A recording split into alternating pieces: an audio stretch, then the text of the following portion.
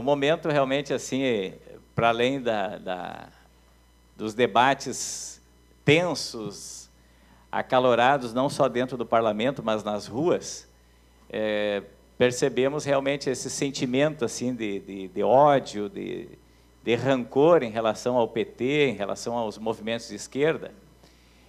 E para além dos movimentos que nós temos feito na rua, penso que o do dia 31 foi muito exitoso, né? tivemos o um movimento aqui na capital mesmo que foi fantástico, se estendeu interior afora do Rio Grande do Sul, país afora, e eles, sem dúvida nenhuma, são um marco da nossa resistência.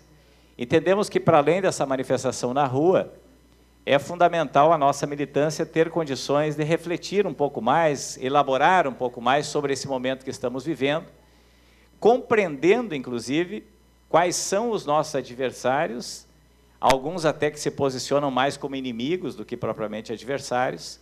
E aí eu repito, a importância dessa elaboração, que quem não tem em mãos ainda poderá ter, até porque a ideia é que cada um saia desse encontro é, com o livro e, de preferência, já faça, comece a leitura hoje mesmo, porque precisamos de muito conteúdo, muita, muita convicção para fazer a boa defesa do nosso projeto e contrários, obviamente, ao golpe que está sendo costurado a partir de Brasília. Passo a palavra para as minhas companheiras aqui, Estela e Sofia, e depois, como eu disse, para o Joaquim, para o Sebastião. Pode ser? Só fazer uma, uma saudação, primeiro cumprimentar ao mandato do Jefferson, nosso querido companheiro e colega, uh, por estar tá nos promovendo esse encontro, esse momento do lançamento do Direito a Volver.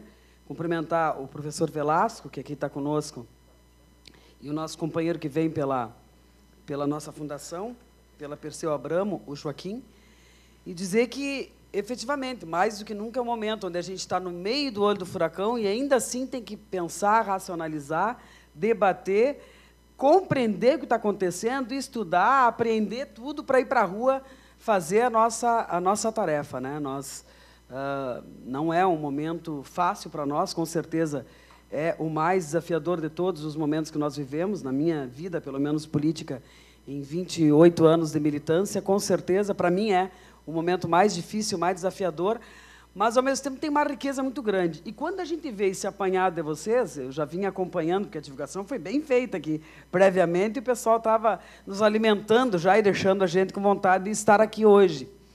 Quando a gente viu que já tinha esta produção né, acumulada, esta organização desse conjunto de textos, de análises, de companheiros e companheiras que demonstram o processo e o momento que nós estamos vivendo, que tem a ver com a chegada onde chegamos, porque isso aí já era meio que uma, né, uma morte um tanto anunciada. Vinham os companheiros anunciando isso há mais tempo. E a organização desse, desse material, nesse documento que é o direito a volver, eu acho que com certeza é uma grande é, é, é de grande valia nós estarmos aqui. Então agradecer a vocês, ao Jefferson por estar nos oportunizando, a Perseu por estar mais uma vez. Uh, esse fim de semana teve uma companheira do meu mandato que participou do seminário que vocês fizeram lá com gestores também, voltou de lá enlouquecida, né? E acho que a gente deve, até vai fazer uma devolução aqui no Rio Grande do Sul com ela e outros companheiros e companheiras que lá estiveram para para demonstrar, né, o quanto a nossa fundação também tem sido brilhante assim no sentido de ir incorporando e contando a nossa história, sistematizando a nossa história, a produção nossa de tanto, né, desses, dessas três décadas, três décadas e meia de, de produção de esquerda no Brasil. Então, parabéns a vocês e, bom, estamos aqui para ouvi-los. Muito obrigado.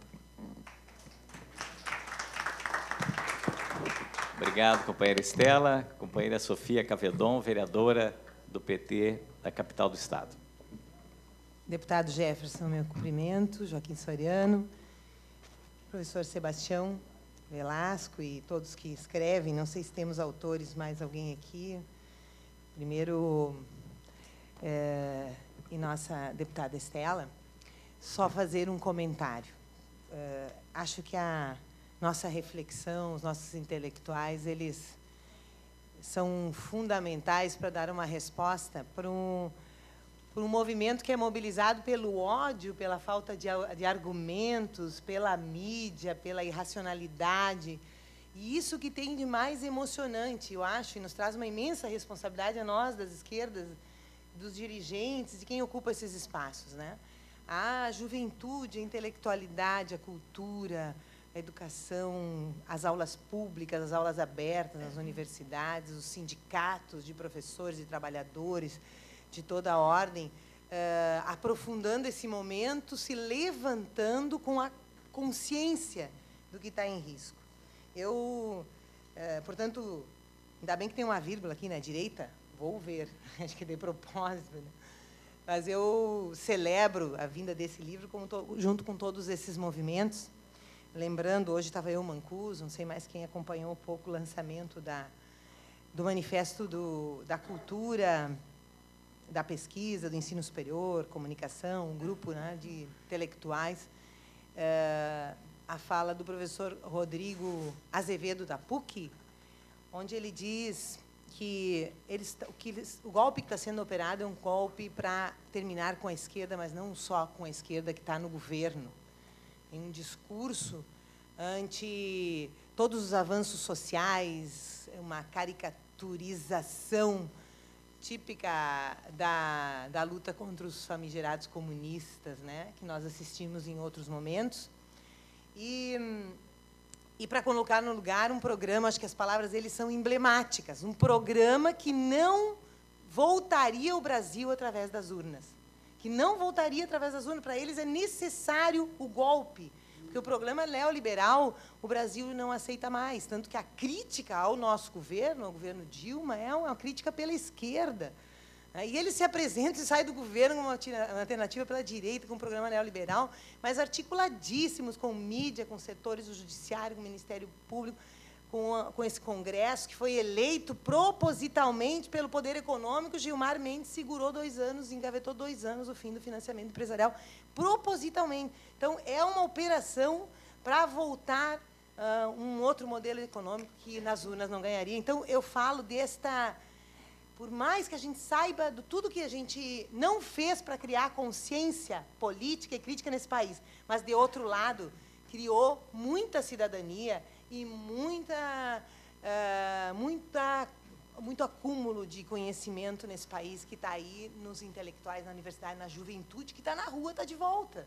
Né? Então, estejamos à altura. Parabéns, nós estamos aqui para aprender e continuar uh, ajudando né, no que puder, para que esse Brasil saia desse golpe muito mais democrático e com uma nova consciência, consciência para enfrentar, aí sim, com uma hegemonia de massa para enfrentar esse monopólio da mídia e esse poder econômico que usurpou o Estado brasileiro por tantos anos e que nós não podemos deixar passar. Bom debate, Câmara.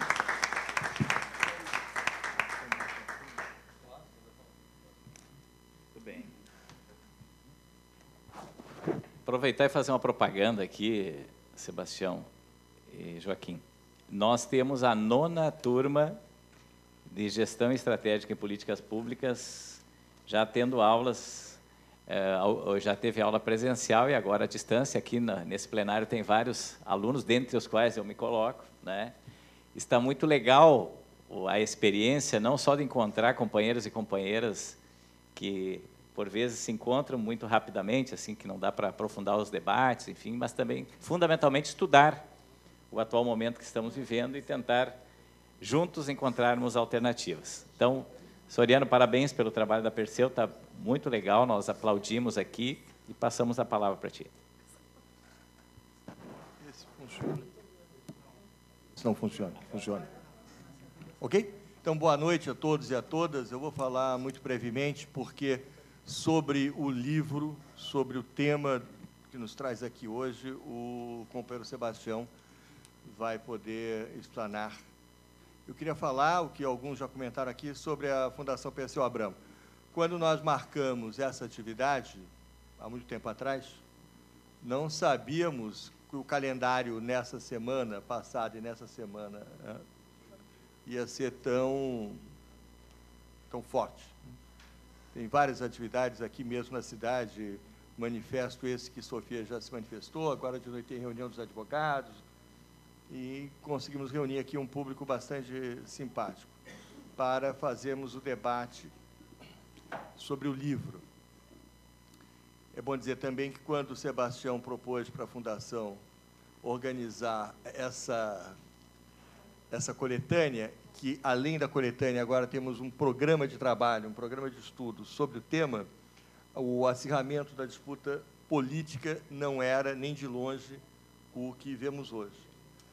Então, esse é um aspecto que a gente sempre gosta de ressaltar, lá na, na, pela diretoria da Fundação Perseu Abramo, pelo seu conselho curador, é que, dentre as várias atividades militantes que nós dedicamos né, no dia a dia, manter as tarefas da Fundação enquanto tal, a tarefa de elaboração política, de produção do conhecimento, de distribuição desse conhecimento para o público petista, fundamentalmente, para um amplo espectro da esquerda, é fundamental. Então, faz parte da nossa atividade de resistência e luta manter o nosso calendário de atividades, né? por conta do amplo leque que nós construímos e reforçamos nos últimos anos. Como já foi citado, nós temos a nona e a décima turma do Programa de Especialização em Política Pública e Gestão Pública.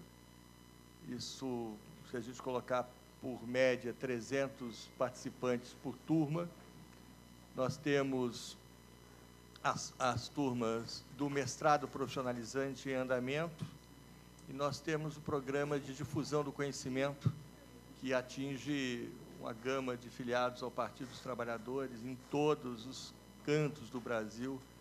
E nós formamos, nesses últimos anos, uma rede de participantes dessas atividades de formação em torno de 10 mil pessoas. Nós também temos ampliado o nosso programa de pesquisa na constituição desses grupos temáticos. Um deles é esse, sobre a direita, e o Sebastião vai poder é, comentar conosco desse livro e desse projeto. É muito importante também lembrar para todos e para todas que a Fundação Perseu Abrano, mesmo nesses momentos de crise que abala profundamente o nosso partido, mantém uma rede de colaboradores professores, acadêmicos, intelectuais, muito vasta. E é uma honra para nós contar com o Sebastião trabalhando mais assiduamente conosco lá na Fundação Perseu Abramo. O Sebastião tem uma larga tradição na esquerda brasileira e é seguramente um dos pensadores mais fecundos que contam, é, com os quais a Fundação Perseu Abramo conta não só para o debate da conjuntura, mas mais recentemente também nesse projeto de grande envergadura que nós iniciamos e temos certeza que é de uma atualidade é, extraordinária, para descobrir quais são os meandros que essa direita percorre para retomar poder político nos países da América Latina, para bloquear os processos iniciados nos anos recentes e, como já diziam outros mestres, é necessário conhecer bem do inimigo para poder enfrentá-lo com mais competência e com mais contundência. Então, eu queria agradecer muito a presença de todos vocês. Meu querido companheiro Raul Ponte está chegando aqui. E quero lembrar a todos e a todas que essa é, sessão de hoje está sendo transmitida pela TV Fundação Perseu Abramo, a TV Web. Então, essa programação toda ela fica gravada e fica disponível no nosso site. E outra propaganda final, frequentem o nosso portal www.fpabramo.org.br. Se inscrevam para receber os nossos boletins, procurem, colaborem e critiquem. É assim que a gente vai fazer uma fundação Perseu Abramo e um Partido dos Trabalhadores mais atuante e mais capaz de responder aos enormes desafios dessa conjuntura. Muito obrigado.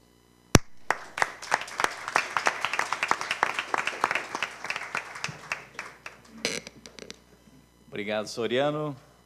Nós, para quem está chegando agora, então, muito obrigado pela presença. Tem, temos um quórum muito qualificado, não só no número, mas na representação política que cada um e cada uma traz. Nós queremos agora ouvir por mais ou menos uns 30 minutos do professor Sebastião e depois vamos deixar à disposição para perguntas, eh, considerações, enfim, de quem está participando aqui conosco. Então, professor Sebastião, seja bem-vindo mais uma vez. Sinta-se à vontade. Bom,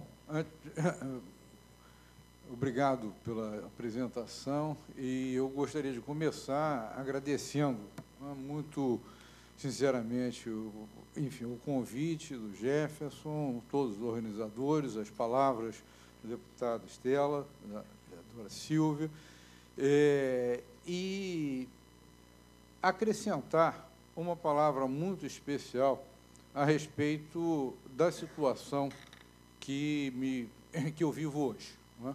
de estar aqui nessa casa, é, a qual eu visitei há 39 anos atrás, na primeira vez que eu vim ao, a esse grande estado, um glorioso estado do Rio Grande do Sul. É? Nessa ocasião, em 1977, eu estive aqui na Assembleia e é para mim uma honra muito grande estar fazendo uso da palavra num recinto desta casa.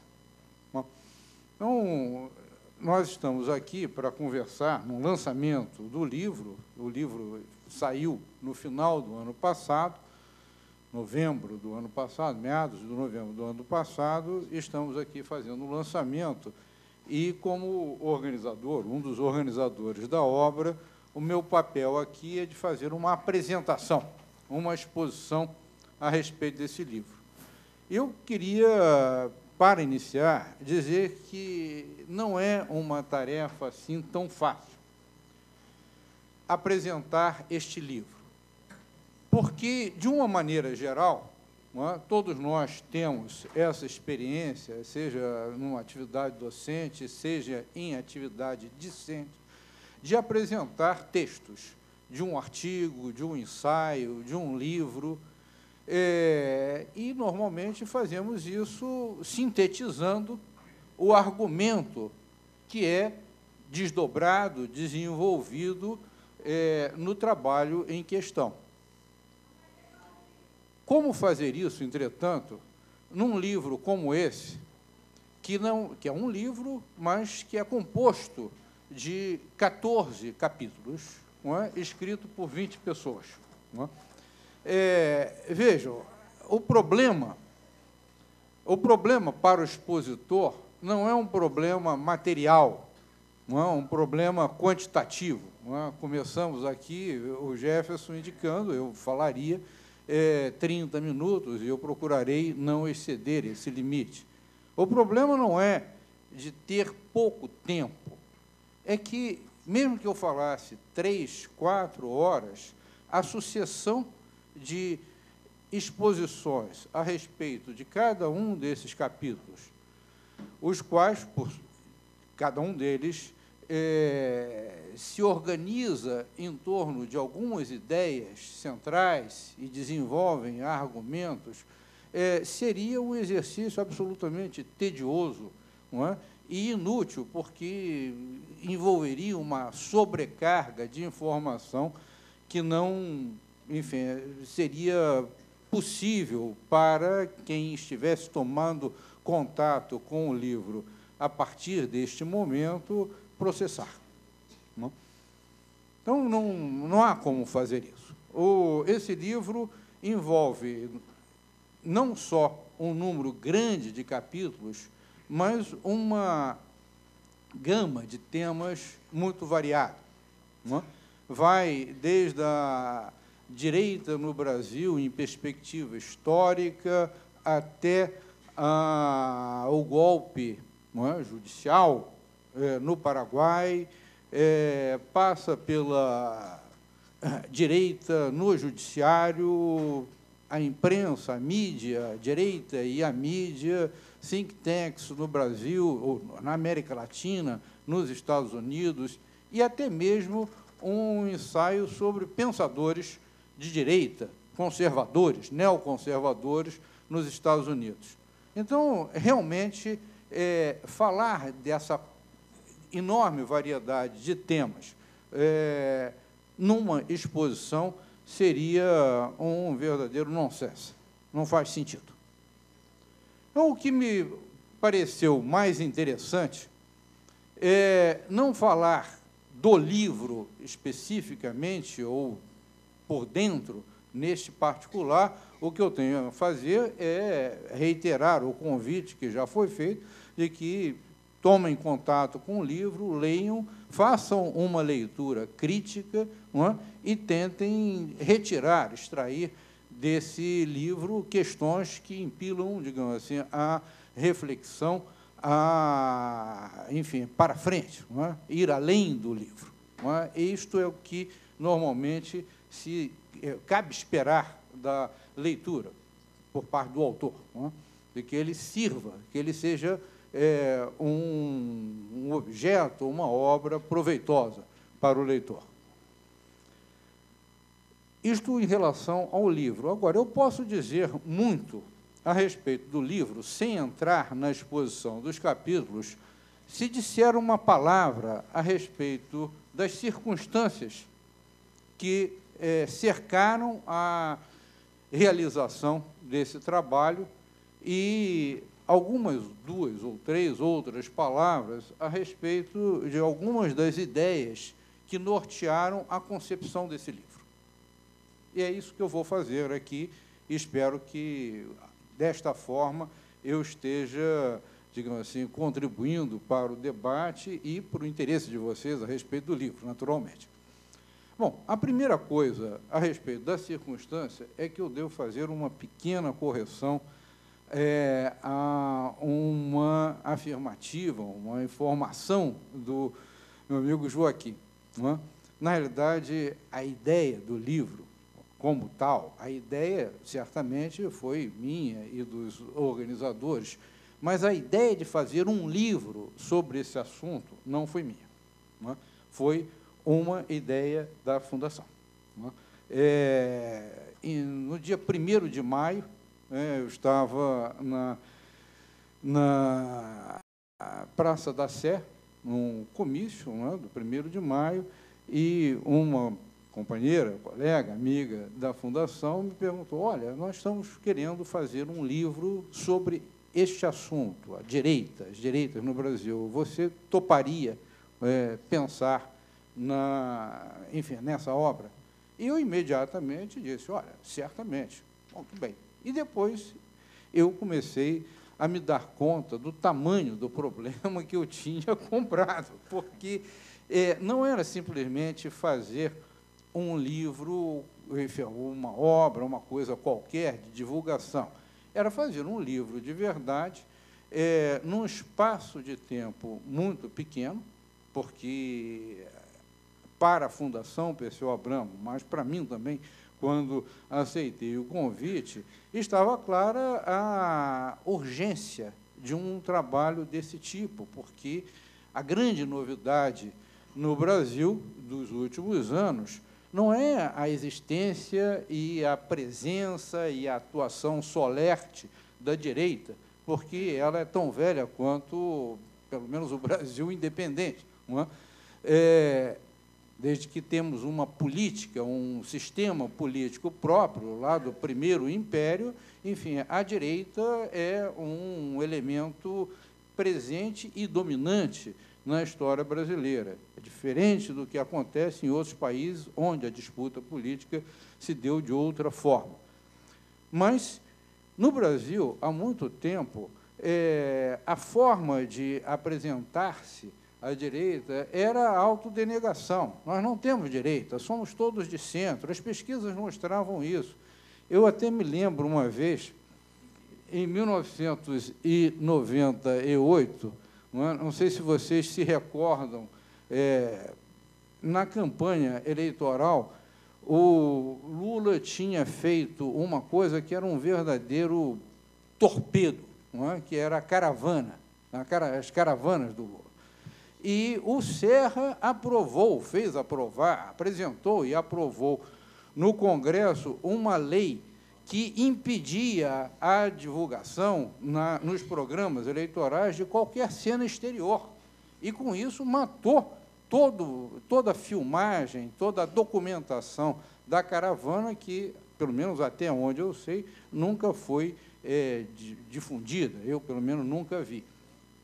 Então, nessa época, havia restrições muito grandes a debate político e eu fui convidado por um programa na televisão, a Conversa Fiada, é, do Paulo Henrique Amorim, para fazer, digamos assim, o papel que seria de um político da oposição, ou do PT, porque eles não, não podiam, né, ainda não estava aberto o momento eleitoral, não podia haver debate político aberto. Então, o Paulo Henrique Amorim eh, me convidou e convidou um intelectual tucano, reconhecidamente tucano, Guilhom de Albuquerque, para fazermos um debate político de posições.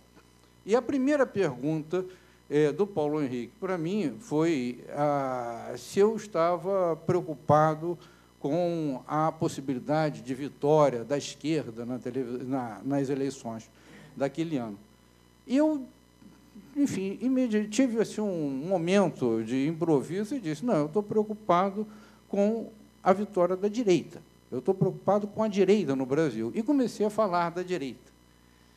Foi, um, enfim, uma surpresa para todo mundo. É, dois dias depois, eu recebi um telefonema de uma jornalista querendo saber se eu tinha informação, se eu podia falar sobre grupos de extrema direita. Eu disse, não, não se trata disso. Eu falei genericamente, eh, porque eu acho que esse é um dado. Nós temos uma direita no Brasil que é, existe, que está disseminada na sociedade e ela não aparece com face própria no sistema político, mas ela está aí.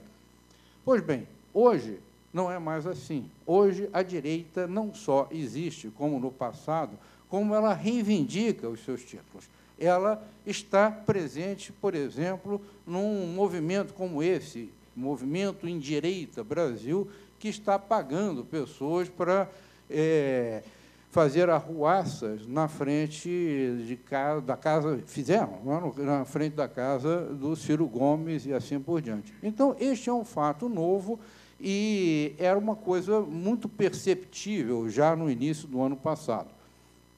Então, o convite me foi feito com essa é, compreensão de que nós estávamos diante de um fenômeno novo e que seria muito importante é, dar uma parada, pensar, reunir elementos para municiar a, a militância e a opinião pública é, interessada e democrática de elementos indispensáveis para é, fazer face a essa novidade, essa grande novidade. Muito bem. E fazer isso num espaço de tempo pequeno? Porque a ideia era que o livro estivesse pronto no final do ano, ou seja, em novembro. Então, eu, enfim, é, quando percebi o tamanho do desafio, é, a minha primeira reação foi dizer: olha, isso é uma maluquice, não vai dar. Não vai dar porque e aí eu já digo uma coisa adicional, uma segunda coisa a respeito do livro. Este não é o resultado de um trabalho acadêmico, de um grupo de pesquisa pré-existente, nada disso. É? A coisa surgiu assim, da compreensão da necessidade. É? Disse, olha, enfim, vamos tentar, vamos tentar fazer esse livro. Agora, eu acho muito difícil que a gente consiga é, realizar a obra num espaço de tempo tão limitado. Fazer um livro em cinco meses significa é, escrevê-lo em dois ou três. Não?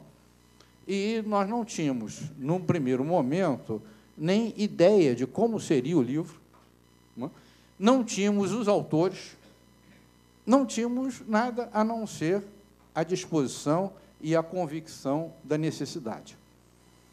É, na primeira conversa que nós tivemos, é, eu me recordo muito bem que eu fiz algumas, eu fiz uma condição não é, de não trabalhar sozinho e aí montamos essa pequena equipe, o, o André Kaisel e o Gustavo Codas, que é um companheiro que trabalha na Fundação Perseu Abramo, num, na organização de uma coleção de livros é, sobre política na América Latina, de uma maneira geral, estava também envolvido com essa iniciativa, mas que eu, eu gostaria de tê-lo na interlocução sobre o próprio livro. É?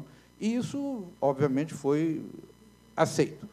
E a outra coisa que eu me lembro, que esteve presente desde o primeiro encontro, é que seria indispensável, imprescindível, para fazer um livro que, enfim, merecesse ser lido, fugir do folclore, fugir do, enfim, enfim fugir da, é, da notícia do último dia, da coisa mais espetaculosa.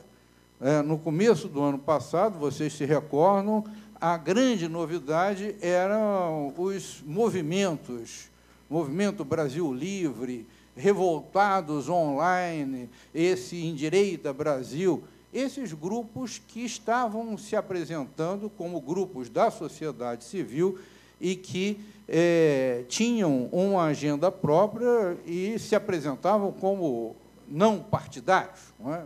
para além dos partidos. E, para mim, estava muito claro desde o início, isso foi um, um acerto é, de imediato, é? foi uma ideia imediatamente absorvida, de que falar da direita a sério não era falar desses grupos, porque esses grupos, com toda a importância que eles têm, eles são é, o que são pelas conexões que mantêm com as forças estruturantes da sociedade e da política brasileira. E, portanto, para fazer um livro sobre a direita, o que nós tínhamos que fazer era, é, sem dúvida alguma, focalizar a atuação desses grupos, focalizar as mobilizações, uma, grandes mobilizações que eles fizeram, conseguiram fazer o ano passado e esse ano também, mas nós precisamos abrir a caixa preta, é, conceber, discutir o tema da direita em perspectiva, em longa perspectiva histórica, e lançar luz sobre alguns é, elementos, forças sociais e segmentos do aparelho do Estado é, que são indispensáveis para dar razão, para enfim, tornar inteligível isso que aparece à luz do dia na política brasileira e que normalmente não são é, incorporados nos estudos sobre política e sobre a direita, direita e esquerda. É, a literatura acadêmica sobre o tema é muito pequena, não só no Brasil, como na América Latina, é, há muitos, muito poucos estudos sobre a atuação da direita política no continente. Não há nenhuma comparação com os estudos sobre esquerda, sobre populismo, nada disso. Mas esses estudos, raros estudos que nós temos, eles quase sempre têm como foco os partidos políticos. Nós tínhamos, claro, que não podíamos falar da direita no Brasil, sem falar dos partidos de direita. É?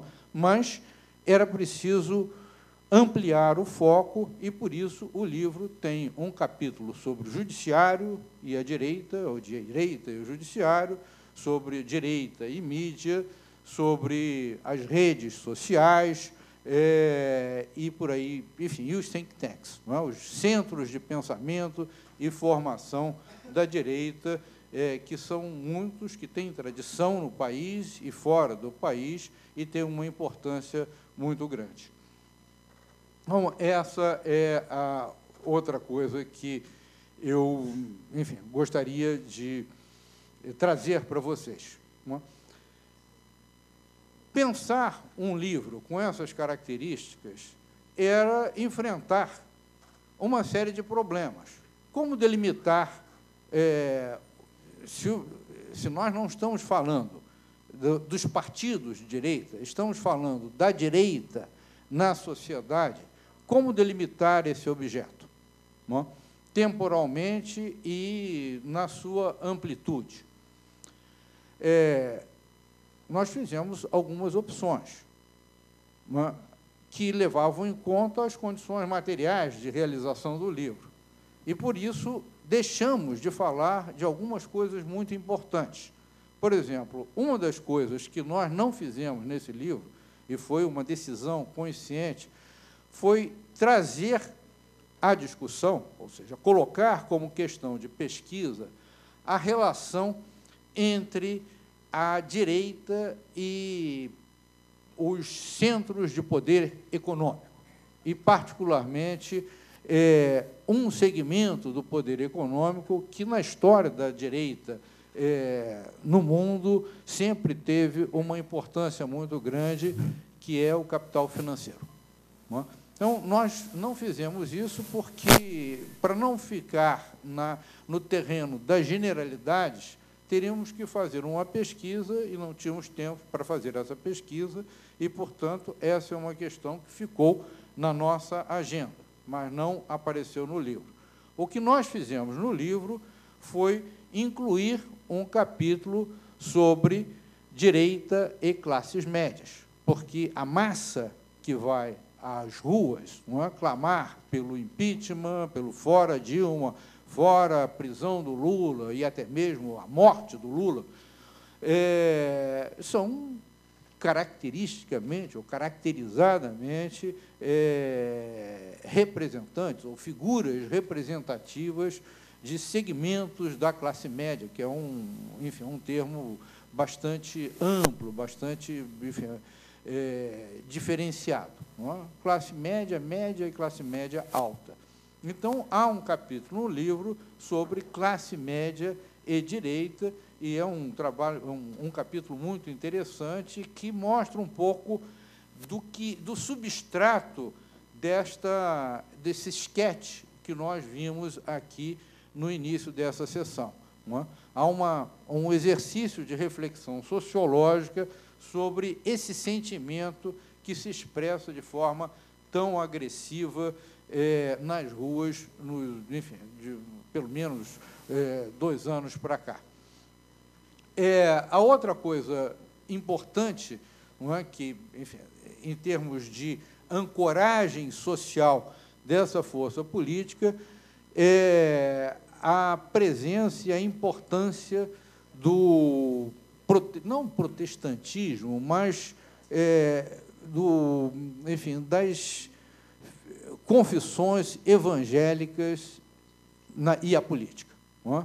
A agenda é, moralista, anti-aborto, anti, enfim, é, e igualdade de gênero, é, esse é um outro elemento importante, é, com presença significativa no nosso legislativo, e nós tínhamos é, clara convicção de que, para falar desse da direita, nós tínhamos que contemplar esse assunto.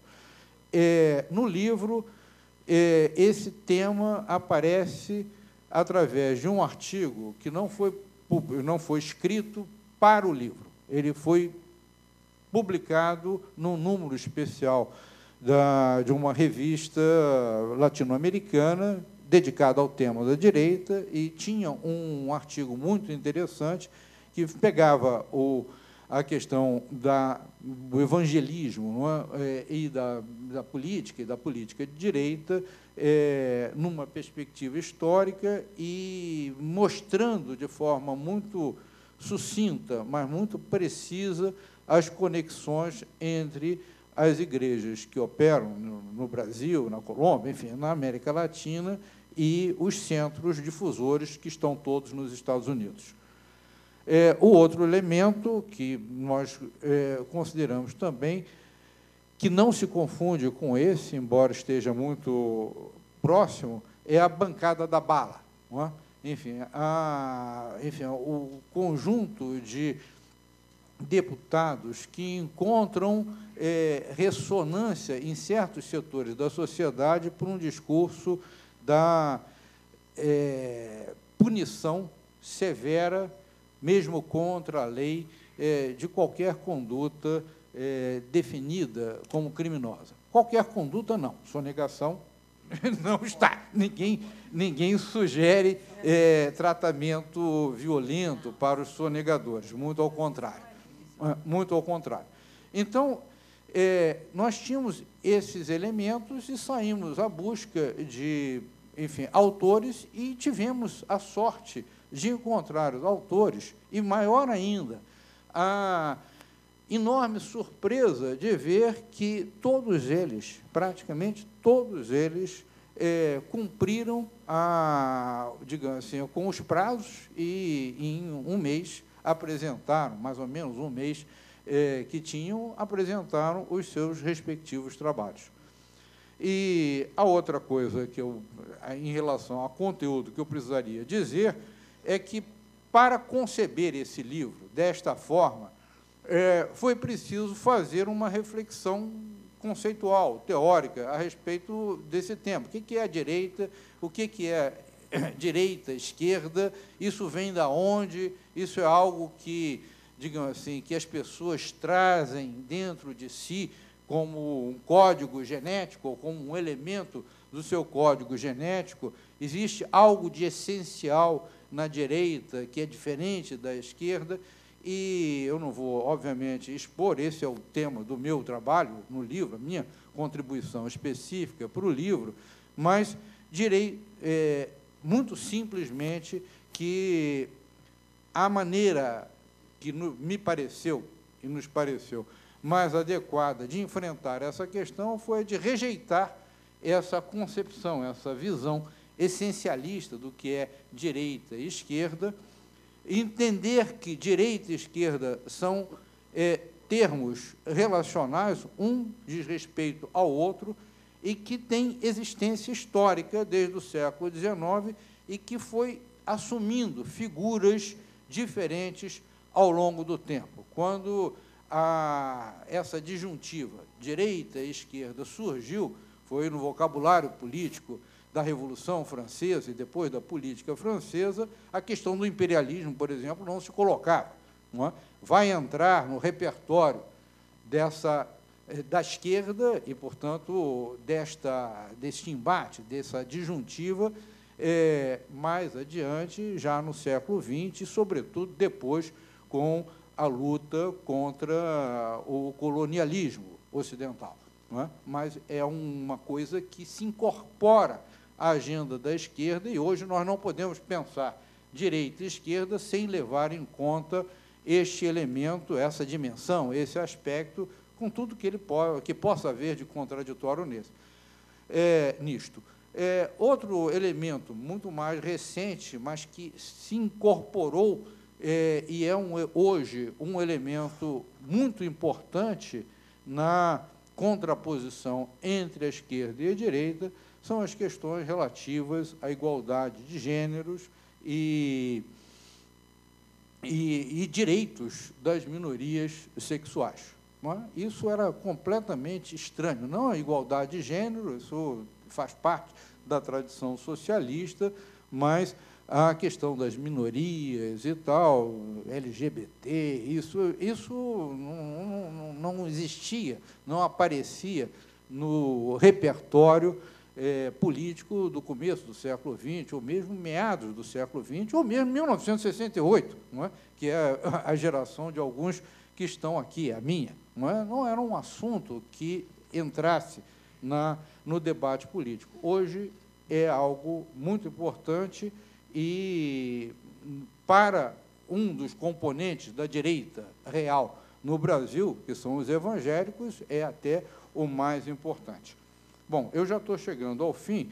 Eu queria simplesmente dizer mais duas palavras. Uma é que, como disse o Joaquim, é, se nós tínhamos sentimento de urgência é? no início do ano passado, o sentimento de urgência hoje é muito maior. É? Me evoca aquela frase famosa de um autor que se tornou maldito para muitos, não, é?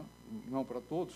Não é? É, a experiência de fazer a revolução é mais agradável, mais proveitosa do que escrever sobre ela. Eu poderia dizer ler sobre ela também. Tem momentos em que a, toda a energia de cada um tem que estar voltado não para a reflexão, mas para a ação. Nós estamos vivendo um momento como esse porque lutar contra a contra-revolução pode não ser tão agradável, mas é tão necessário e tão urgente quanto, enfim, enfrentar ou, e fazer e desenvolver as tarefas da revolução.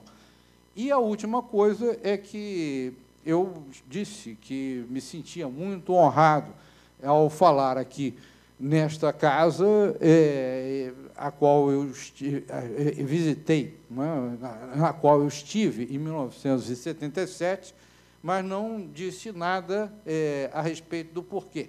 É? Eu vim aqui em 1977, eu morava no Rio de Janeiro, para participar de um seminário promovido pelo IEPS, é? que era da, do, do MDB, o velho MDB, e logo depois do pacote de abril. Uma ação truculenta do regime militar que fechou o Congresso e desencadeou uma reação muito forte na sociedade, e esse é o início do processo de abertura e de democratização do Brasil. Eu estou aqui de novo, é, 39 anos depois, no momento em que as energias, é? as forças, a vontade democrática do povo brasileiro volta a se fazer ouvir nas ruas do Brasil é, pela violência da direita. E como naquela época, eu acho que a gente pode terminar dizendo que os liberticidas não passarão, não vai haver golpe, mas a direita vai continuar. É? E por isso, de novo, eu reitero o convite para que leiam o livro, pensem e, enfim, e procurem é, ir além na compreensão desse tema, porque a sabedoria estratégica chinesa é, desde então, milhares de anos, desmentidas. A única forma de vencer o inimigo é conhecê-lo profundamente. Muito obrigado.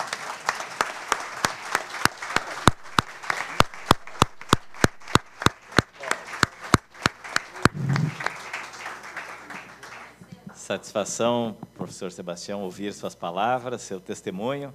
E agora nós vamos abrir para as intervenções. Obrigado às companheiras que aqui estão conosco. O Maneco é o primeiro inscrito aqui, pediu para... Tá, vamos... Boa tarde, O Genkel me ajuda aí para fazer as inscrições. João Manuel. Professor Velasco, boa tarde, obrigado. O, o Genkel vai pegar as inscrições aqui, tá? Uh, eu, eu, eu tenho informação de que o senhor estuda os Estados Unidos. Eu queria saber qual é o papel dos Estados Unidos nesse momento, como é que ele se dá. Acho que o senhor já vai, enquanto o pessoal uh, se prepara para as outras perguntas, o senhor já pode Oi. ir respondendo. Então tá. Olha, é, Estados Unidos tem com o Brasil algumas coisas não é, é, em comum. Uma delas é o tamanho e a complexidade.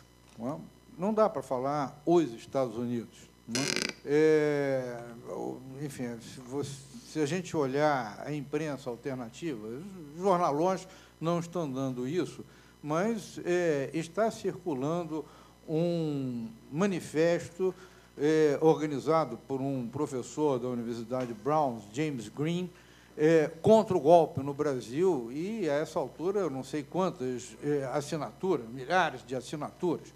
É? Existe uma opinião, existe uma democrática nos Estados Unidos e, nesse capítulo introdutório, essa questão dos Estados Unidos, direita e a esquerda, é considerada. E eu vou, digamos assim, é, responder mais ou menos nessa linha. É, a relação dos Estados Unidos com a direita e a esquerda no Brasil e na América Latina é contraditória. É? porque, é, de um lado, de um lado, os Estados Unidos, como potência imperialista, o Estado norte-americano, é, sempre se aliou às oligarquias, às forças dominantes desses países, patrocinou golpes, ensinou os nossos militares a torturarem seus cidadãos e assim por diante. Mas, como os Estados Unidos não são o Estado americano, e lá a luta política sempre aconteceu é? Como, é, pela posição central que os Estados Unidos têm no mundo, ele também foi matriz para muita coisa que se incorporou à tradição liberal, democrática, de esquerda é, no Brasil e no mundo. É? É, eu mencionei a agenda, esses itens novos da agenda da esquerda, é? reivindicação dos direitos, isso tem muito a ver com a história americana. Esses movimentos surgiram nos Estados Unidos, na Europa?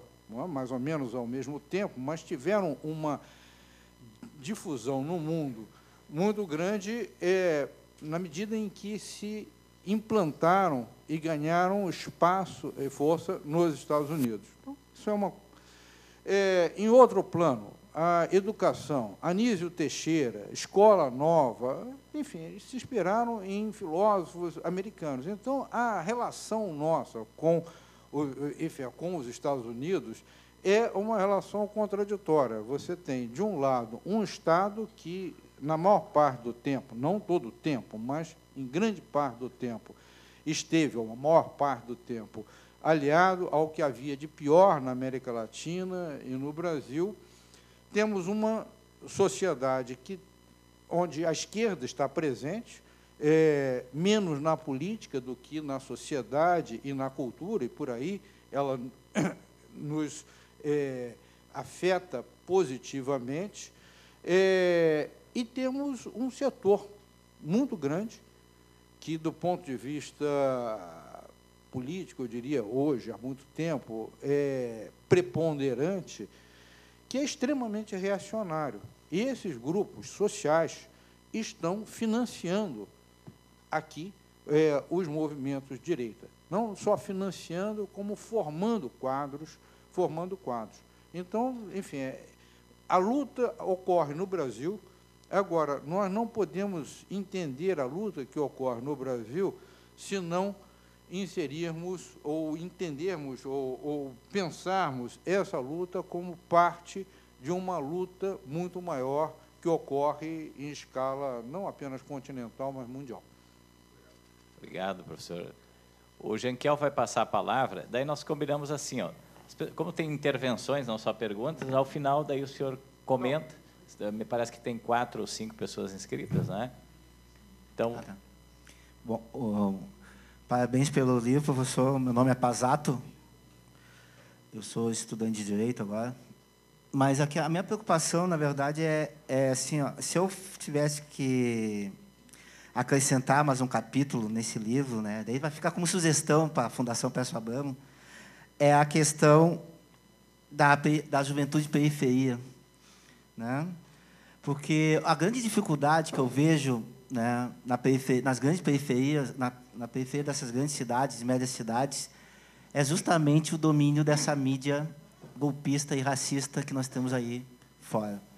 Então, é mais a título de sugestão, uh, trabalhando essa questão da direita volver, a colocar um capítulo que é falando, fazendo o link da direita com a juventude de periferia por essa questão do Gramsci que já falava, né, da disputa por hegemonia, né. Então é só uma sugestão para a Fundação Peço Abrão. Obrigado, Pazato. Raul Ponte. Falou em juventude, o pessoal passa o microfone para o Raul.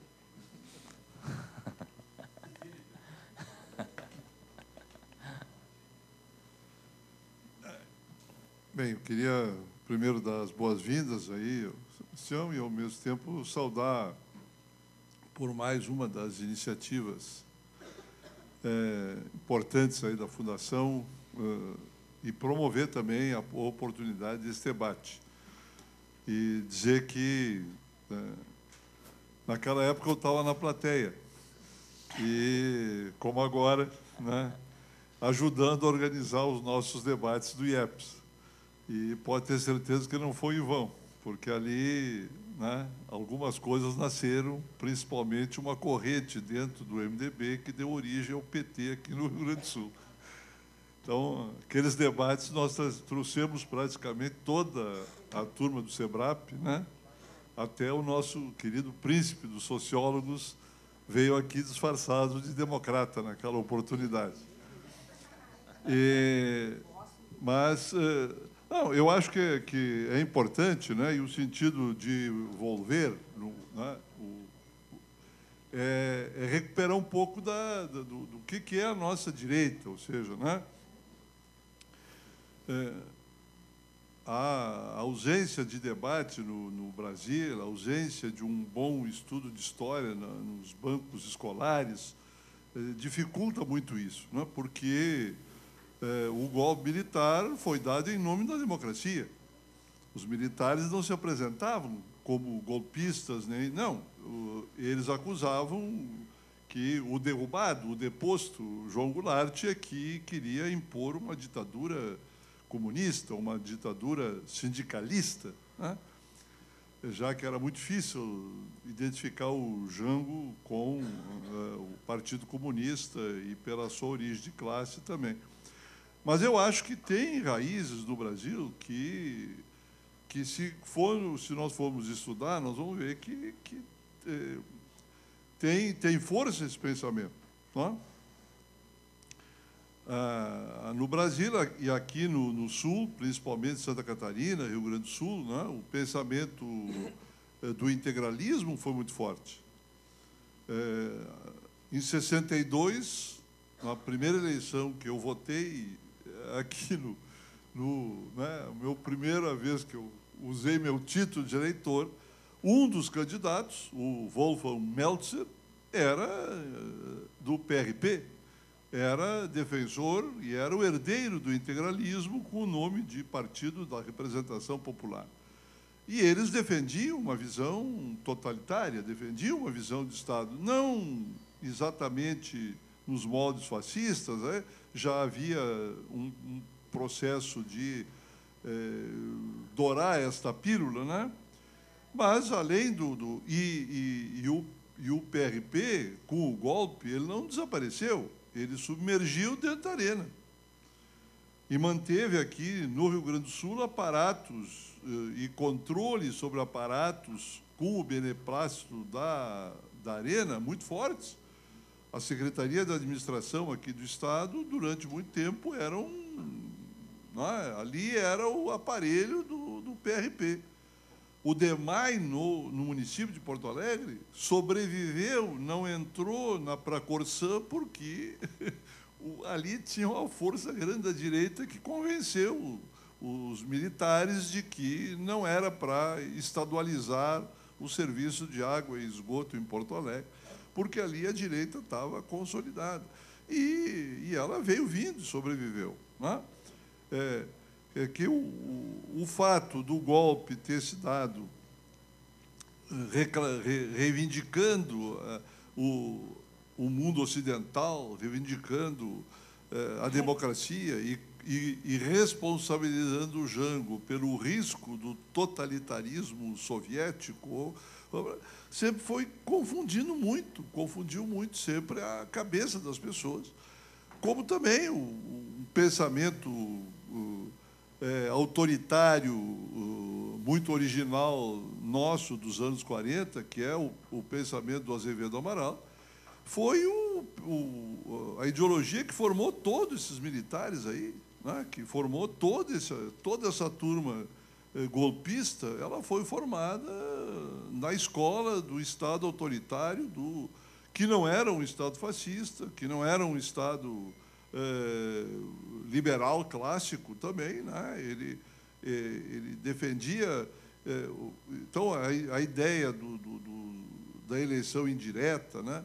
a ideia do, do, Estado forte, do Estado autoritário, que não era reconhecido como ditatorial, isso marcou muito a sociedade brasileira, mas, mas foi, de certa forma, esquecido e, e ficou, isso ficou presente eh, em escritores, lideranças, eh, enfim, de cronistas do período, mas que eu acho que mostram que a gente sempre teve uma. Sem falar na direita liberal clássica, né, que aqui no Rio Grande do Sul também se expressou durante muito tempo, é, que é aquela visão clássica liberal de que, enfim, direitos sociais, direito de greve, essas coisas são inaceitáveis.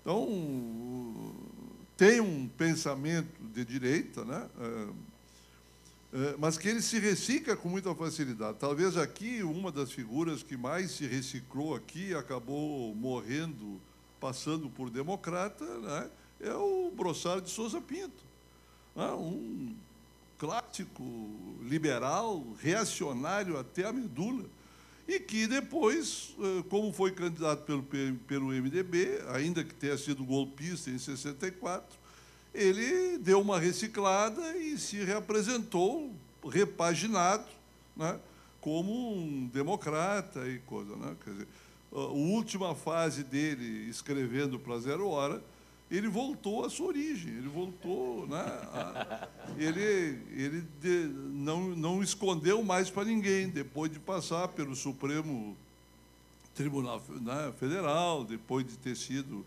senador e etc.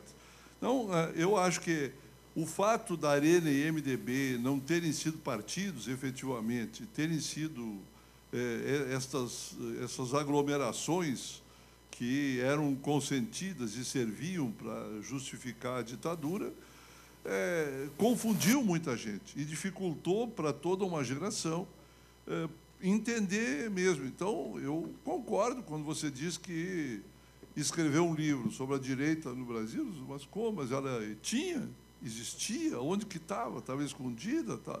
Não, ela sempre foi muito forte, sempre esteve muito presente. Mas, quando a ditadura acabou com os partidos, também acabou com essa educação política, pedagógica, que as eleições e os partidos têm que fazer.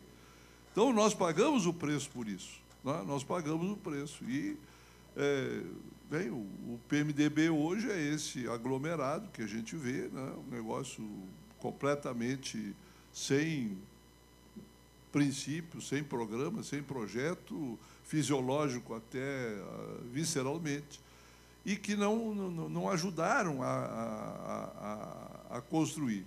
E acho que eh, esta crise, ao menos, está nos ajudando, está é, algumas manifestações da direita, é, ainda que elas sejam muito marcadas né, por uma postura meramente negativista ou é, não tem nenhum projeto futuro que acompanhe, é muito preconceito, etc.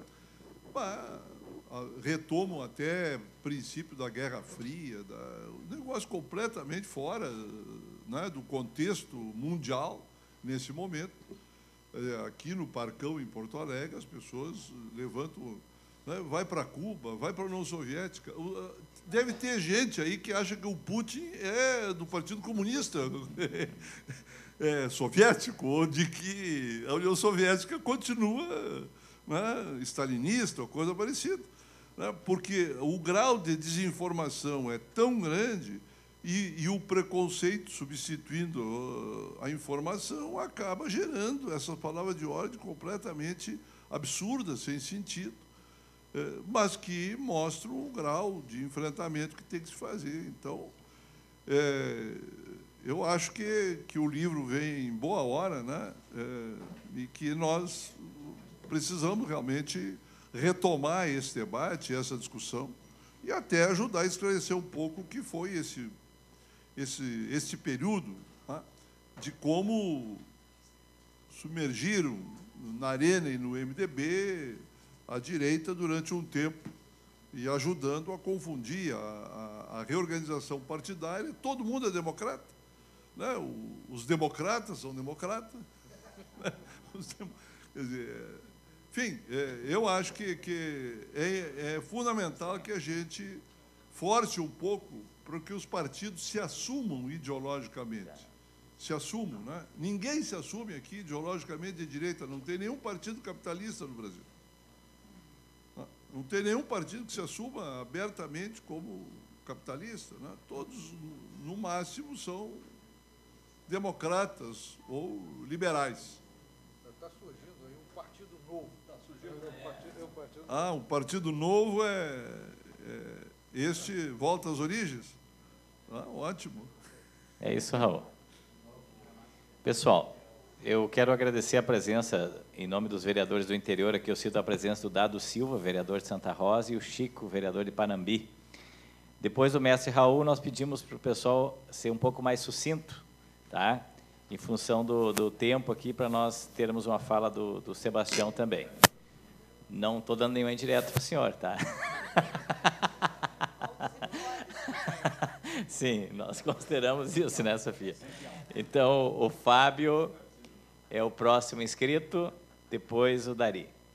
É, boa noite. Eu, eu não, não tive tempo de, de, de como pode ser, é, não, mas eu queria fazer uma pergunta a respeito da questão da constituição da, da direita no Brasil.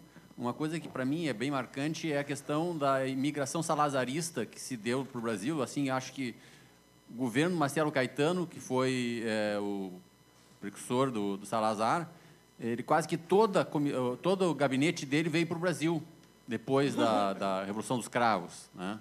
E acredito que mais de um milhão de, de é, salazaristas vieram para o Brasil, pessoas quer dizer, escravagistas, eh, altamente discriminadoras e que influenciaram né, a criação no Brasil de, de esquadrões da morte e, e, coisas do gênero por aí. Tá? Eu tenho relatos que eu morei em Portugal, eu tenho relatos de pessoas que aqui no Brasil faziam safaris nas favelas do Rio de Janeiro, saíam para matar pessoas à noite. Tá? E, eh, e eu acho que, que essa, essa é, situação que nós temos de, de, da violência no Brasil também é resquício disso né? E, e, de certa forma, toda a estrutura montada na sociedade civil, ela é montada para dar uma, uma desensibilizar dessa enorme violência e agressão. E a gente passa por como se não houvesse nada, né? Nós vivemos até hoje uma guerra civil, né? é, milhões de pessoas, né? 50 mil pessoas morrem todos os anos e isso nem com os governos da, da esquerda foi mudado. Tá? E uh, eu acho que isso também tem uma, uma causa para a própria esquerda. Tá? Quer dizer, o que, que nós fizemos, por que, que não se mudou esse quadro? Né? A violência continua, é, é, a violência do trânsito, é a violência no ambiente de trabalho, é a violência uh, uh, urbana. Né? É, o que que quer dizer nós estamos provocando também a direita tá? essa o que que houve que não não não se mudou esse quadro também obrigado obrigado Fábio só para segundo minha informação são foram 60 mil pessoas assassinadas no ano passado no Brasil né? Próximo inscrito Dari? Bem boa noite professor. Achei bem interessante essa ideia dessa construção desse livro, porque eu acho que é importante essa questão da gente conhecer o nosso adversário. E acho que uma das coisas que dificultou a nossa reação, nossa percepção foi a incapacidade de, perceber que esse adversário estava tomando as ruas, estava se estruturando de forma uh, bastante enraizada na sociedade e acabou nos surpreendendo enquanto movimento de esquerda a sua pujança, a sua capacidade de articulação. Então, acho que vem boa hora a gente poder estar discutindo essa questão. Eu queria levantar uma outra, porque eu, uma outra questão que é a seguinte, na verdade, é, eu sou o diretor da Federação Única dos Petroleiros. E a gente percebeu uma, uma mudança bastante grande aí, da, uma como é que eu vou dizer assim, um aumento, um aumento da fervura desses movimentos a partir da descoberta do pré-sal. E isso é muito patente aí quando a gente sabe que esses movimentos aí como o MBL vem para a rua, ou são tem vem dinheiro dos irmãos Koch dos Estados Unidos, né, através das suas ONGs e tem interesse direto na indústria de petróleo. Então, eu queria entender também por que a nossa direita é tão entreguista, né? Não consegue, sabe? Tu, tu vê outros países aí que têm direitos e tal, mas os caras conseguem ter um projeto de país, de, de nação, né? Está falando do Putin aqui. O Putin é, é direita, ele é um nacionalista de direita, não tem nada a ver com. Ah, ah, e, bem, eles constroem um, uma, uma proposta de país. Agora, a nossa direita aqui não consegue. E além de ser um bando de lambibota dos Estados Unidos, não tem outro termo para dizer em relação a isso. E continuam dessa forma. Então, só levantar essa questão aí que o petróleo, para mim, puxar um pouco da brasa para minha sardinha aqui, tem. Só para saber, né? O pré-sal nos transformou no segundo ou terceiro país em é, jazidas de petróleo do mundo. E isso, obviamente, atrai muitos interesses, né? como diria o nosso saudoso Brizola. Obrigado, Dari. O Carlão, depois a companheira Jussara. É, boa noite. Meu nome é Carlos, eu sou formado em economia e sou funcionário público. E eu acho a questão de, de discutir a direita, o direito a volver, é qual direita, né? Como ele também já estava colocando, né? Se nós temos realmente uma direita no Brasil, como existia no tempo que eu era guri, né? Exemplo, a direita defendia o casamento, né? E as pessoas se horrorizavam com um beijo na boca na, na rua, né? E as pessoas é, questionavam os cabelos compridos, né? E um monte de coisa, né? E as pessoas nem, nem se assumiam como fascistas, né? e eu era guri no tempo da, da, ditadura. Então existia uma moral, né? E as pessoas casavam no civil, no religioso. Os homossexuais eram esse, totalmente minoria. Né? Então existia uma direita realmente hegemônica. Né? e que defendia a propriedade, os bons costumes, o moral. Então eu me pergunto o que significa essa direita que existe hoje. Por exemplo, a questão, a direita que, que, tá, foi avaliada e que está crescendo, ela defende a, a nacionalismo, por exemplo, defende o Estado. Primeira questão. No, no, por exemplo, nos Estados Unidos tem o Partido Republicano que defende o Estado forte, inclusive um Estado endividado, Estado armado e crescendo e intervindo. Ele quase levou o país à, à falência. Mas é defende o Estado, Estado capitalista, imperialista, e levou a uma, uma crise financeira. Mas qual é a, a, o que, que a, se a direita está defendendo o Estado, né?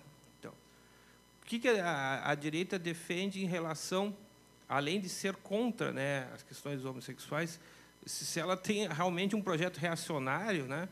Ou é uma coisa só, mais uma mentira, porque o que eu vejo, isso aqui é um texto de esquerda, que talvez a própria polícia possa ter feito uma coisa até melhor. O que acontece? O, a direita não consegue produzir eh, ciência no Brasil. E não consegue produzir, inclusive, defender a própria empresa nacional. Né? Por exemplo, o Brasil hoje deixou de ser, uma coisa assim para questionar, né? deixou de ser um produtor de violões. Nunca foi um produtor de violões, é, de bom nível, como são os americanos. A Giannini, parece, se mudou para a China. Né? Então, nós temos um país que não defende, uma direita que não defende a, o Estado, não defende a empresa nacional, não defende a empresa eficiente, não defende o capitalismo e talvez tenha, ganha, é, ganha dinheiro até com a China. Então, eu queria ver o que, o que está por trás disso. Eu acho que existe uma crise muito grande no capitalismo brasileiro e que o Brasil é um país até comprável, né? não só as estatais, mas as próprias empresas, a terra brasileira, porque é um país muito subdesenvolvido. Né? Então, e o mais me preocupante, que a gente pode tem que discutir a, a, a direita, mas nós temos que discutir a barbárie, que, que um, há um tempo atrás chamaram de bicho no Rio de Janeiro, né? que até o, acho que foi o, o falecido Moreira da Silva falava do bicho, né? que é as pessoas que não têm mais nenhum hábito cultural de ser humano. Os índios, por exemplo, têm é, hábitos religiosos. Então, são pessoas totalmente bárbaras, né? que eu acho que é uma coisa que está crescendo no Brasil e que nós temos que discutir isso. O que é a direita e o que é a barbárie. Né? Muito bem. Obrigado, Carlão. Jussara, depois o Castro. Boa tarde. Queria cumprimentar o professor Sebastião, o Soriano, uh, o deputado uh, Jefferson, a Sofia, cumprimentar mesmo, cumprimentar a todos que ainda estão aqui nesse lançamento. Uh, eu estava pensando e já dando uma olhadinha no seu texto, né, que mostra que a direita de envergonhado passou exibicionista, né? É, certamente porque ela conseguiu também tá? é, alguns conteúdos, alguns, algumas categorias explicativas para poder se apresentar. Né? Então, acho que uma das questões é a ética. Se apropriou da ética, uma ética excludente, por tudo que nós sabemos, tá? essa é a grande contradição, né? todas as exclusões, né? machista, homofóbica, e, enfim, uma série de exclusões, mas se apropriou, de alguma forma, de uma chamada bandeira da ética. Também do que eh, o companheiro que me antecedeu falou, do nacionalismo o nacionalismo privatizador, tá? porque essa é a ideia né, de privatizar empresas, mas é, o símbolo é a bandeira. Tá? Se, quando nós aparecemos com a bandeira, parece que nós estamos roubando a bandeira do Brasil. A bandeira não é, não pode ser da esquerda, a bandeira é só da direita. E valores. É, como conseguiram trabalhar né, a ideia de que estão resgatando os valores quando prega o ódio. Tá? Pode matar, mas está recuperando o valor. Então, das várias instituições que foram aqui citadas, a igreja, a mídia, o judiciário, que consegue elaborar essas contradições, né? a mídia opera muito bem nesse sentido, né? É, de diluir as contradições, nós estamos falando na vinda para cá, a Eni e a que somos professoras as três, que eu acho que nós não fizemos o dever de casa. Porque uh, é, é, impressionante, eu tenho um neto de, não vou me estender aqui, mas quero contar essa, esse fato, um neto de oito anos, está no terceiro ano. E ele está muito aflito, porque todo mundo fala e mobiliza, e na casa dele, as avós e os avós. Ele disse, mas eu, na minha escola, todos odeiam a Dilma. Todos os meus colegas odeiam a Dilma. E eu disse para a professora: isso aqui está ruim, porque odeiam mais a Dilma do que o Zika vírus. Tá?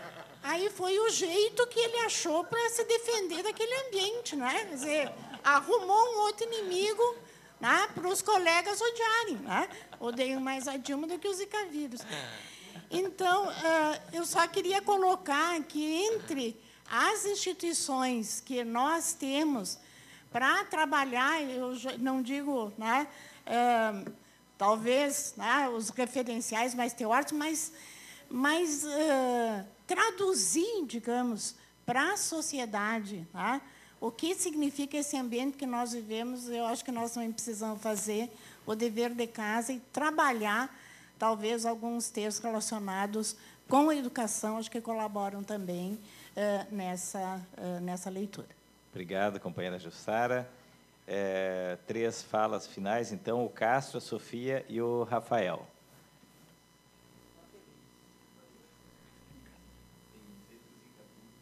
É,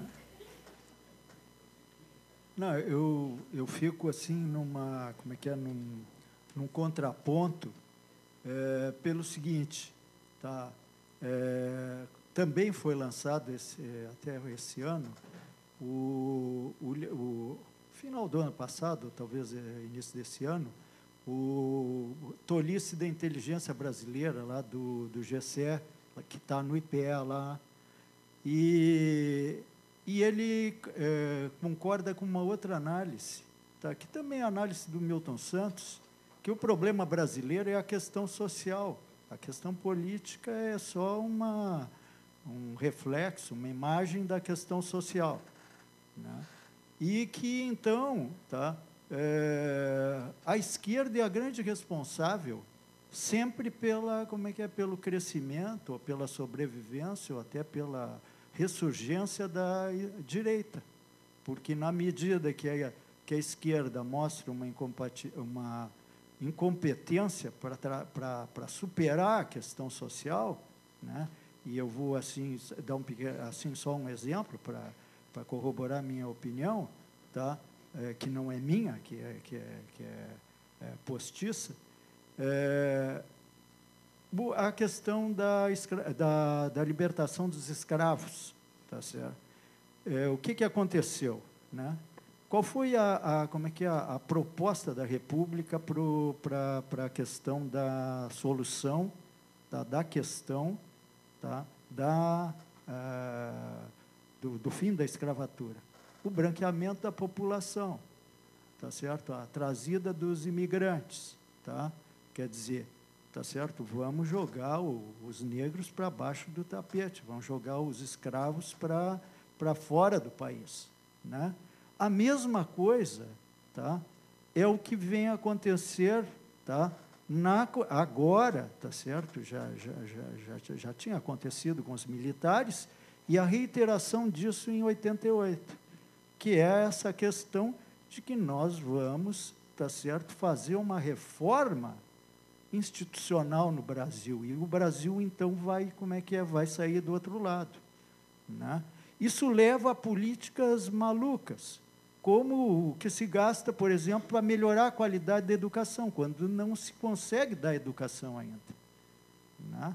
É o que se faz, por exemplo, com a questão, tá certo, que se gasta muito dinheiro na tal de polícia pacificadora, que é uma, como é que é um, uma, como é que é um contrassenso metafísico, um troço, como é que é uma, uma polícia pacificadora não, não existe. Mas nós, no Brasil, temos até estudiosos, gente que estuda sobre como faz uma polícia pacificadora, que, aliás, tá, é, já não se fala mais em polícia pacificadora, já se abandonou.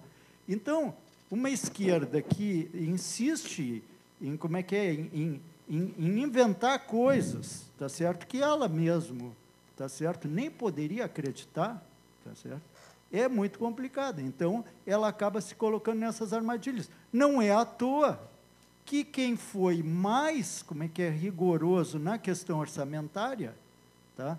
que é o PT, tá certo? vai ser apeado do poder por uma questão orçamentária, formal, absolutamente, como é que é, é não, uma conta, tá certo? Uma conta mal feita, tá certo? Né? Exatamente por isso.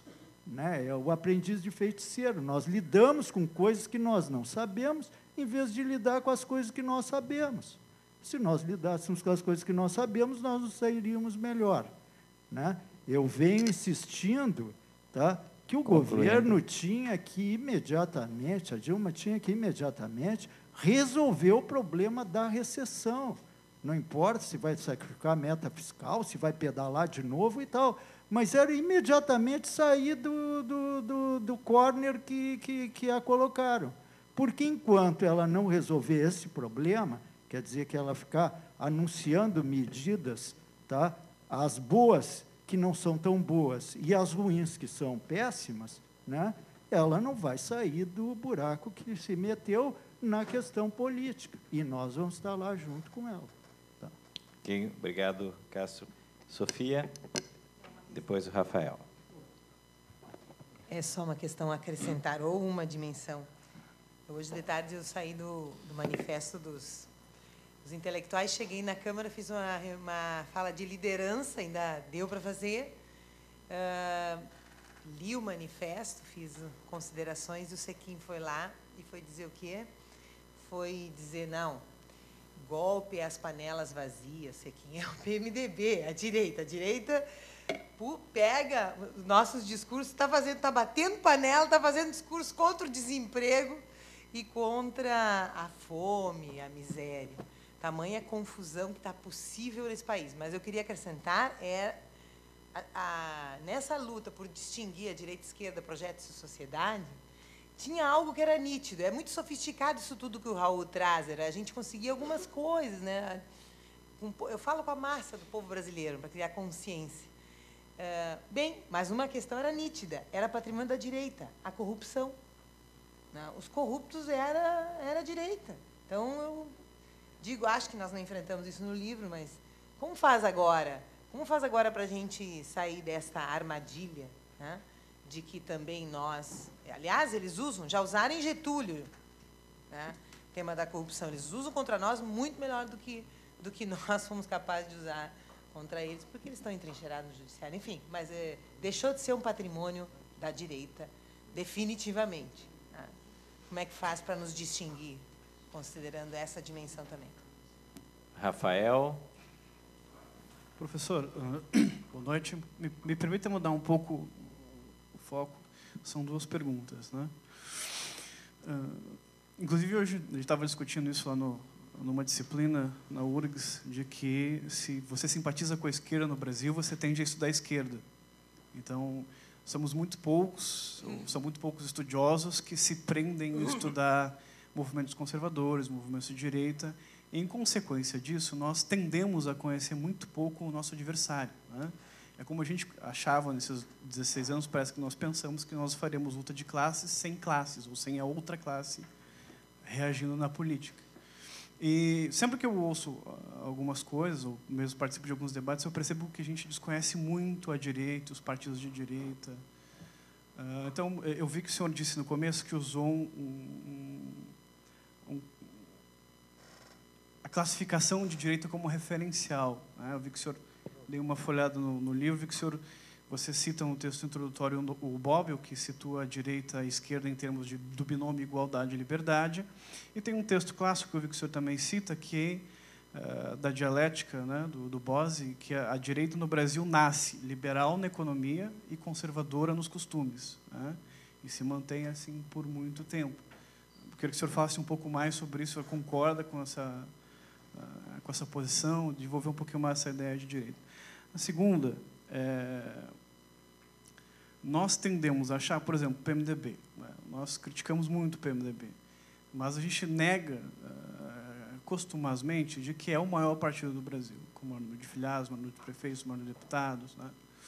E parece que nós não tiramos as lições disso. Né? Nós tendemos a não conhecer os nossos adversários. Isso faz com que, né, a opinião de alguns de nós, cometamos alguns erros táticos importantes. Né? E que um deles é perceber, é não perceber, ou pelo menos a gente não está levando em conta, embora a gente esteja muito imbuído no nosso contexto, de que essa assunção da direita é uma é uma ressurgimento internacional, não é uma exclusividade brasileira, né? Ela passa a, a, a contestar projetos desenvolvimentistas ou, alternativos no mundo inteiro, né? a começar lá pela porque parte da esquerda se apaixonou da Primavera Árabe, movimento financiado pela CIA. Né? Isso acontece a nível internacional. E parece que esse movimento fez com que a direita brasileira saísse do armário. Tem um autor que fala que a direita brasileira, até 80, acho que foi o Singer, inclusive, que disse que a nossa direita era uma direita envergonhada. Não é por que a nossa direita deixou de ser envergonhada e resolveu tomar o debate ideológico de forma mais afirmativa? Legal. É, o Elvis pediu um, um minutinho, né? então nós vamos conceder Boa noite, pessoal. Professor, uh, eu queria acrescentar alguns pontos, uh, eu digo até como participante agora. Uh, bom, eu sou, era participante, agora já me formei. nós tínhamos uma luta muito forte dentro da área dos estudantes de economia contra parte dessa direita hoje conhecida como Movimento Brasil Livre. A gente fazia parte de um grupo que até então era marxistas, keynesianos, que disputavam DAs Brasil afora. Uh, nós começamos a criar páginas para brigar justamente com esse grupo, no tempo que eles eram nanícolas. Estou falando isso antes de 2013. A partir de 2013 em diante, esses caras não se tornaram grandes, eles se tornaram imensos. A, a limpa que eles fizeram de enfrentamento da minha categoria, não sei outras. Foi violenta. Hoje a gente junta qualquer coisa que é contra eles, é nosso lado, até liberal clássico, para poder enfrentar os caras. Nós fizemos um movimento há pouco tempo para os estudantes de economia do Brasil, para disputar contra eles a nível nacional. A gente começou a espionar os caras. Desculpe, a gente está entre companheiros e conhecer o inimigo faz parte para quem quer disputar contra eles. Uh... Mas faz parte, gente. É... Gente, você... a gente tem que parar de mas, gente, não, a gente tem que parar de ser bobo, gente. Eu digo por quê? Porque a gente, eles espiam a gente. A gente não é novidade para eles, entendeu? A gente já conhece, os caras são limpados. São... A gente tem gente lá dentro também. Quem é da Uni ou do movimento estudantil, não digo da Uni, qualquer movimento estudantil já participou de eventos. A gente vai para esses eventos, a gente racha até o pão. Esses caras não vão para rachar o pão, esses caras ficam em hotel primeira classe. Os caras ganham o hotel primeira classe pago e ganham suporte. Os caras dão 200 reais para ti ficar um dia lá, cara. 200 reais para te ficar, fora estadia e o transporte que é pago. Falando sério, gente. Esse movimento Brasil Livre, o dinheiro que os coxos estão botando aqui, não é brincadeira, é grana. É grana. Há quem diga que tem até cara do PSDB preocupado com isso. Porque é uma, eles estão com uma, com uma estratégia de tomar conta do PSDB e do DEM de tal forma que eles possam poder obter cargos deles. Por exemplo, a gente fez um período que a gente começou a só seguir esses caras, só escutar o que eles falam, só ouvir o que eles escrevem e os debates deles. Você não tem ideia, eles fazem debate toda semana, um três a quatro debates. Essa direita, me desculpe assim, os mais antigos, ah, da ditadura e tal, esses caras já tratam essa direita como direita jurássica. Eles não querem nem saber quem é o Castelo Branco. Há pouco tempo, até uma figurinha lembrada, aí, um tal de que vocês chamam de deputado aqui, mas que a gente conhece como o garoto do Todinho, da URGS. Uh, esse cara, de, uh, debatendo com outro jornalista do, da Rede Band, parece que não tem o cabelo, uh, diziam que o, o Geisel era um comunista. É ilógico, só que é o seguinte, um, chega um determinado momento que o ilógico se torna real. Tu olha quantas pessoas estão lá assistindo aquilo dali. Dois, três mil. Onde é que essas pessoas? Tem cara em Manaus, tem cara em Pelotas, tem cara até na Mossoroca do Olívio. Tem gente ouvindo. E tu repete, repete, repete, repete, torna verdade. Aí eu pergunto. Concluindo, Elvis. Uh, uma provocação, até porque a gente tem dirigente aqui do partido. Por que, que a gente não faz um, um reverso? Não estou dizendo brigar com eles. Vamos, vamos treinar o pessoal, vamos estudar, vamos discutir a direita, vamos discutir nosso inimigo, vamos falar propostas esquerdas. Eles estão 24 horas e tem dinheiro. E a gente, quanto esquerda, o que, que a gente tem feito? Obrigado, Elvis. Um dos objetivos do evento é esse, tá, Elvis? fazer, o, fazer o debate. Tá. Professor Sebastião. Olha, eu acho que eu estou aqui diante de uma tarefa tão mais complicada do que organizar o livro, porque foram muitas questões, muitas observações, muitos comentários extremamente interessantes. E, bom, eu, antes de mais nada, quero agradecer por estar ouvindo é, essas sugestões, questões que certamente trazem elementos é, de informação e elementos, questionamentos, né, que nos vão dar a pensar.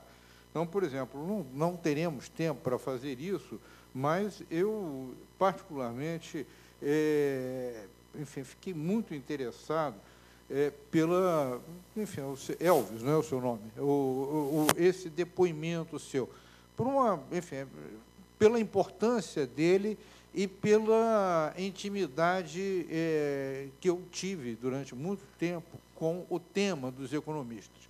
É? É, durante muito, muitos anos da minha vida, eu trabalhei, fiz pesquisa sobre empresários, empresários e economistas, escrevi sobre esse tema, e, ah, se pegarmos o contexto daquele período, anos 80, final dos anos 70, 80, o final dos anos 70, começo dos anos 80, período de transição, para cá, uma mudança, enfim, brutal, muito significativa, é, no debate econômico e, sobretudo, nas ideologias econômicas que são difundidas é, nesse universo que você, a que você se referiu. Então, eu, enfim, gostaria de conhecer muito melhor é, esse enfim, é, esse tema. Eu gostaria de conhecer, saber mais sobre ele. Acho que tem uma importância significativa. Agora, eu não superestimaria.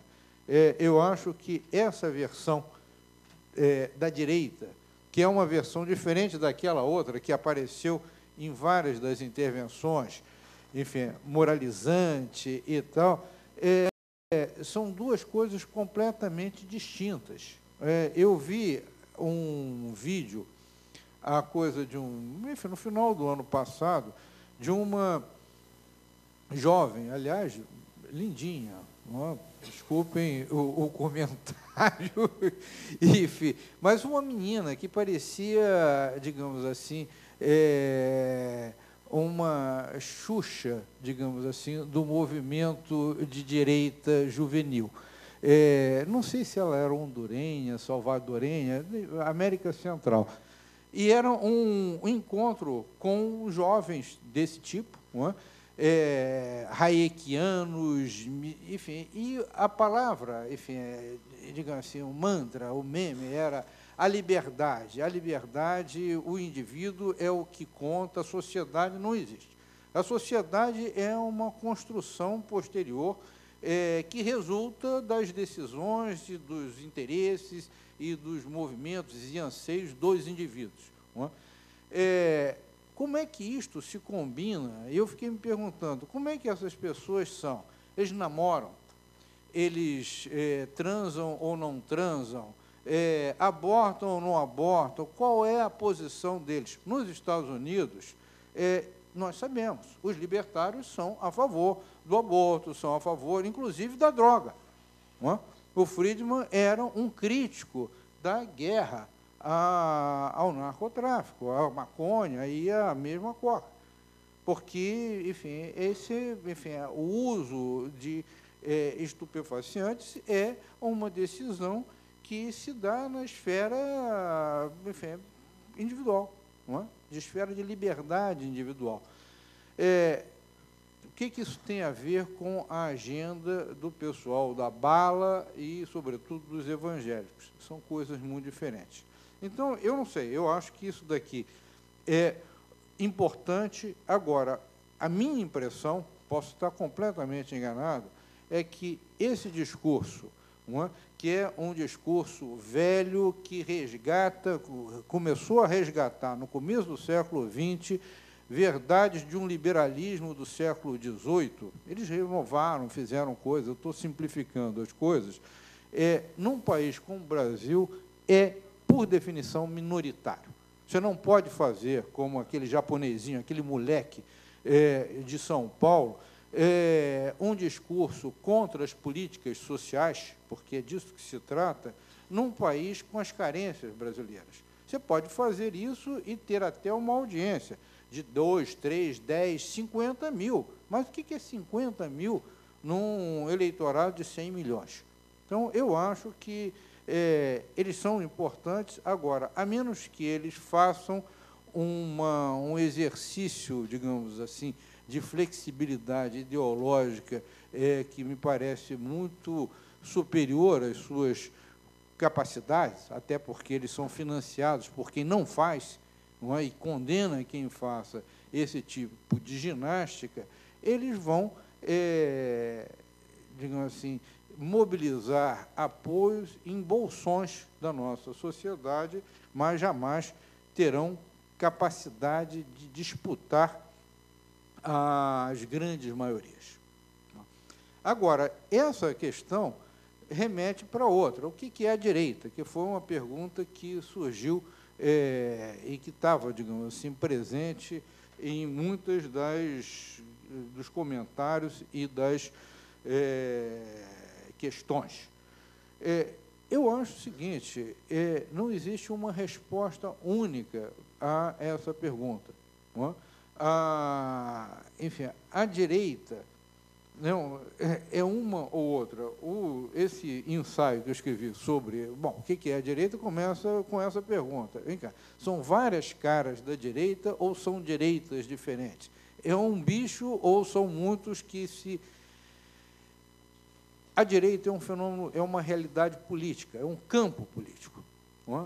ah, o segredo da direita é, apesar das diferenças é? É, que existem e que podem ser tão grandes quanto essa que alguém, enfim, que esse eh, esse jovem comentarista é um imbecil, é? É, mencionou, Geisel é um comunista, é? é porque, para ele, Geisel é um estatista, e o estatismo é um primeiro passo para a servidão. É? O livro, o famoso livro do Hayek. Não é? Ah, o caminho da servidão. Então, o Geisel era o cara que estava, é, na visão desse indivíduo, é, abrindo o caminho para ah, um regime de opressão, de, enfim, e aí o comunismo é uma das realizações é, deste final. O nazismo é um outro, são dois totalitarismos onde o Estado esmaga, esmaga os indivíduos. O segredo é, apesar das diferenças é, que podem ser muito radicais, compor um campo que, no plano político, é, se apresenta com uma unidade não desprezível. Não é? No caso dos Estados Unidos, onde você tem uma direita libertária, uma direita fundamentalista, religiosa, uma outra mais, enfim, é, enfim financeira e, e assim por diante, é, durante muito tempo eles estiveram juntos. O Reagan fez isso. É? Foi a revolução que ele fez. Hoje, o que nós estamos vendo nos Estados Unidos é uma certa, não sei até onde esse processo vai, mas uma clara desorganização desse campo. O movimento Tea Party, é, Trump e outros, eles são é, expressão de um grupo, enfim, que exaspera certos elementos, digamos assim, radicais da direita, mas que incide no campo da direita de uma forma desagregadora. E, de novo, posso estar enganado, tendencialmente minoritária, o que condena esse campo a uma posição minoritária na sociedade, enfim, numa sociedade em que o peso do eleitorado latino, migrante, etc., é cada vez maior.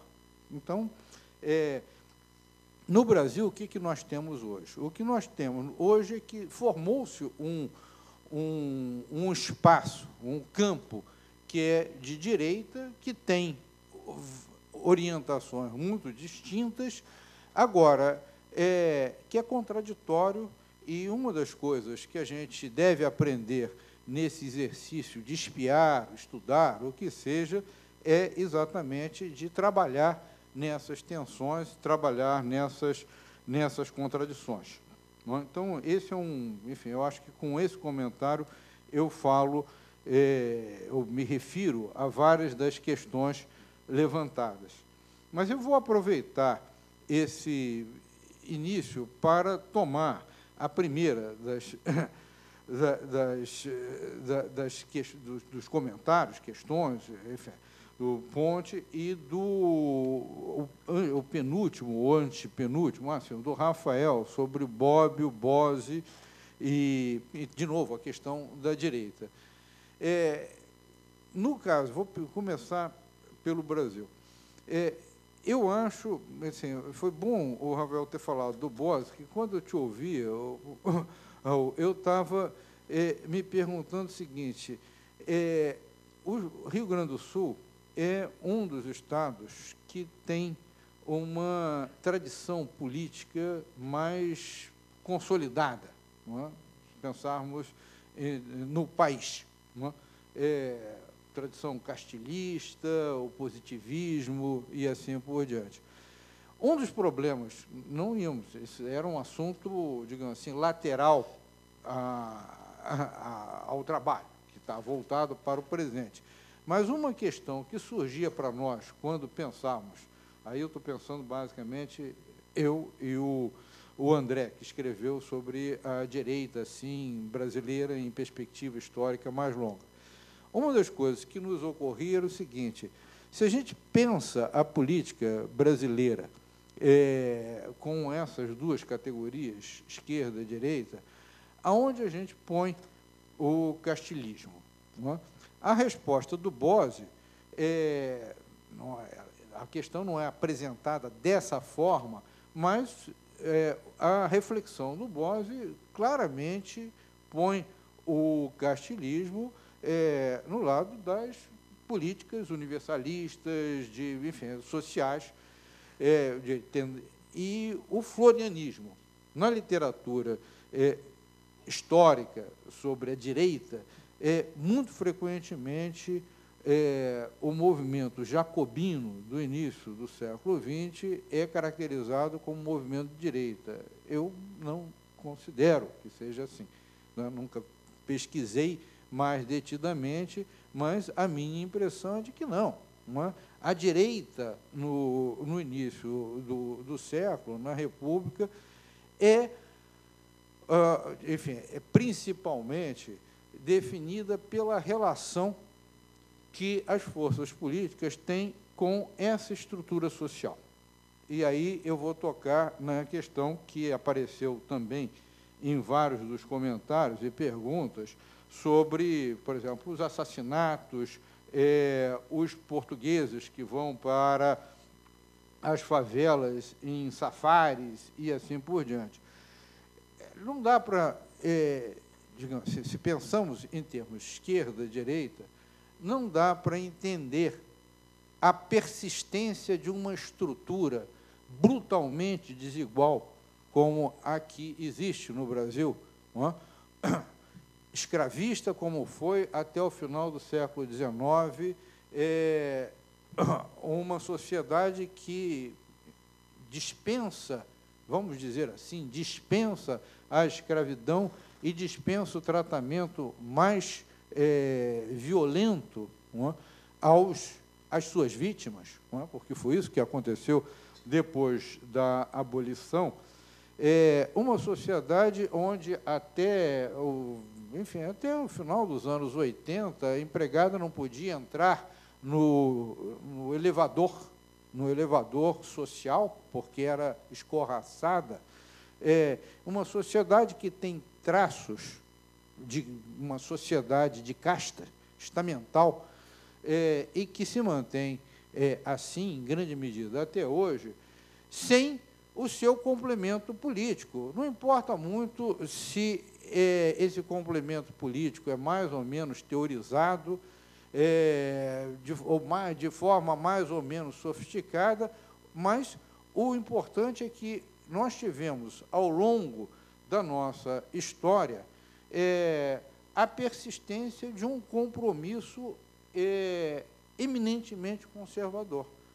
E aí eu vou, digamos assim, qualificar, enfim, manifestar uma pequena discordância em relação a, enfim, a questão do que se fez ou se deixou de fazer nos últimos, nos últimos anos. É, certamente, a, eu acho que foi o Castro, não, não foi o. É, o, certamente a política de esquerda é, tem muito a ver com a reemergência da direita. Mas isso é por definição. Esquerda e direita são é, como a mão direita e a mão esquerda, são enfim, relacionais. É? a, o fascismo não teria acontecido se não tivesse a, a, a, antes a Revolução de 17 e as revoluções que se sucederam na Europa depois, ao final da guerra. Não? Os conselhos operários na Itália, Hungria e assim por diante. Então, sem dúvida alguma, há um, na reemergência da direita é, algo de reação, mas de reação. Não há políticas que confirmaram a sua posição na sociedade. É, podem até terem sido políticas que não desafiaram frontalmente a posição desses grupos na sociedade, mas que os ameaçaram ao promover a ascensão e a promoção social no plano material e simbólico. Vejam, é preciso não perder de vista nunca a importância do reconhecimento. Quando Lula é, recebe no Palácio do Planalto é, os, é que diz, os coletores de lixo, é? ah, catadores de lixo, os catadores do lixo, é, dá, enfim, abre o, enfim, o espaço do palácio a essa categoria e se relaciona com ela da forma, enfim, espontânea e carinhosa que ele tem em geral com todos, ele faz, ele atravessa, ele ultrapassa uma linha é, que certamente valeu a ele é, uma boa parte do ódio que essa turma de, devota é? contra ele. É, porque é, digamos assim, é uma história da Jéssica, é, enfim, é a abertura de universidade, enfim, isso é algo que você via antes. Antes de aparecer nas ruas, era algo que é, se percebia. Brizola fez isso. Brizola, quando foi governador do Rio de Janeiro, tomou uma decisão, eram duas decisões. Uma é botar elevadores nas favelas. E as pessoas diziam, pô, esse cara é maluco. Ele disse, maluco não, porque você mora num apartamento do 18º andar e tem um elevador. Nunca imaginou que você deveria subir 18 andares a pé. Então, elevador para a favela é uma transformação. E a outra foi abrir os túneis para os ônibus. Os túneis que levavam do subúrbio do Rio para as praias da Zona Sul. Isso foi algo muito subversivo. E nós vimos que foi subversivo porque agora, no final ano passado, a polícia estava caçando os jovens que pegavam ônibus e não estavam devidamente vestidos e abonados. Então, é, é, é, o conflito nesse plano é um conflito importante, significativo. Se nós não levarmos em conta, nós não entendemos não é, a, os conflitos políticos que a gente observa. Foi aqui, é, está sendo aqui, assim no Brasil, foi assim na Argentina com o peronismo. É? A liga que o Perón estabeleceu com a classe popular, os trabalhadores, argentinos tem muito a ver com isso. É? E aí o papel da Evita, mas isso é um outro assunto. Então, é, assim, o. Pá, deixa eu voltar ao, ao assunto. Então, a questão da, da, da, da esquerda e da direita é, lá, é, o, enfim, o, a retomada da direita, ah, sim, é, a questão que me, a respeito do pré-sal, do pré-sal e aí do mundo dos interesses. Nós passamos de um plano para outro. É, de um lado, você tem é, uma, digamos assim, uma insatisfação, uma, um inconformismo uma, é, social que estava presente desde o final, do, ainda no governo do Lula. Uma, a reação a Bolsa Família é, foi expressa num primeiro momento, depois foi silenciada por razões estratégicas. Os marqueteiros mostraram, olha, não é por aí, porque vocês se... Mas, na base social é, desses grupos, a reação à Bolsa Família, a ideia de que o PT não ganhava eleição, comprava votos, é? comprava votos distribuindo o nosso dinheiro, que foi dito aqui no, no esquete, isso foi, é um tema muito, é um motivo muito importante da direita e continua, e hoje é cada vez mais expresso de novo de forma aberta. Então você tem, por um lado, essas reações, digamos assim, é, quase que é, irracionais, ou, enfim, quase que epidérmicas a um processo de mudança, de transformação social que se deu no Brasil, mas você tem um outro, uma outra lógica, que é a lógica dos grandes interesses. E aí, não tenha dúvida, eu, eu pelo menos não tenho dúvida, não tinha dúvida, sempre achei que essa era a questão. Como é que a direita aceitaria a ideia de ser derrotada pela quarta vez sucessiva, é, quando o grande projeto de, enfim, o grande eh, investimento na área energética, que era o pré-sal, estava amadurecendo e estava começando a dar os resultados. É, a minha, eh, enfim, a, a questão que eu me colocava era o seguinte: ora, quem administrar os bônus da exploração do pré-sal é, vai criar uma rede de, de apoios econômicos e sociais que calçará, ou poderá vir a calçar, é, um ciclo político longo. eles já perderam quatro vezes sucessivas. Perder a, digamos assim, as, as condições de serem os gerenciadores das benesses de todo tipo, é? dessa imensa fortuna, é algo insuportável. Então, eu acho que essa hipótese é uma hipótese forte, é? e que se vincula a outra, que não surgiu aqui no debate, ou pelo menos com grande é, relevo, que é a orientação da política externa brasileira. A política externa brasileira, sem o, digamos assim, o estardalhaço da política externa venezuelana, é, foi claramente uma política que é, criou um, um espaço de decisão própria, independente dos Estados Unidos, que se dissociou de, dos Estados Unidos em temas absolutamente fundamentais para eles, e a combinação disso é a entrada no grupo BRICS é?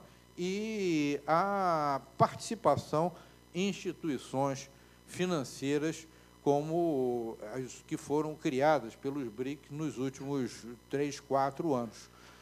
Então, num mundo onde as rivalidades estão se aguçando, é, onde os Estados Unidos não são mais aquilo que 10, 15 anos atrás parecia ser o destino deles, é? ser a única grande hiperpotência numa organização mundial quase que de caráter imperial, um império global, nós não vivemos sob um império global.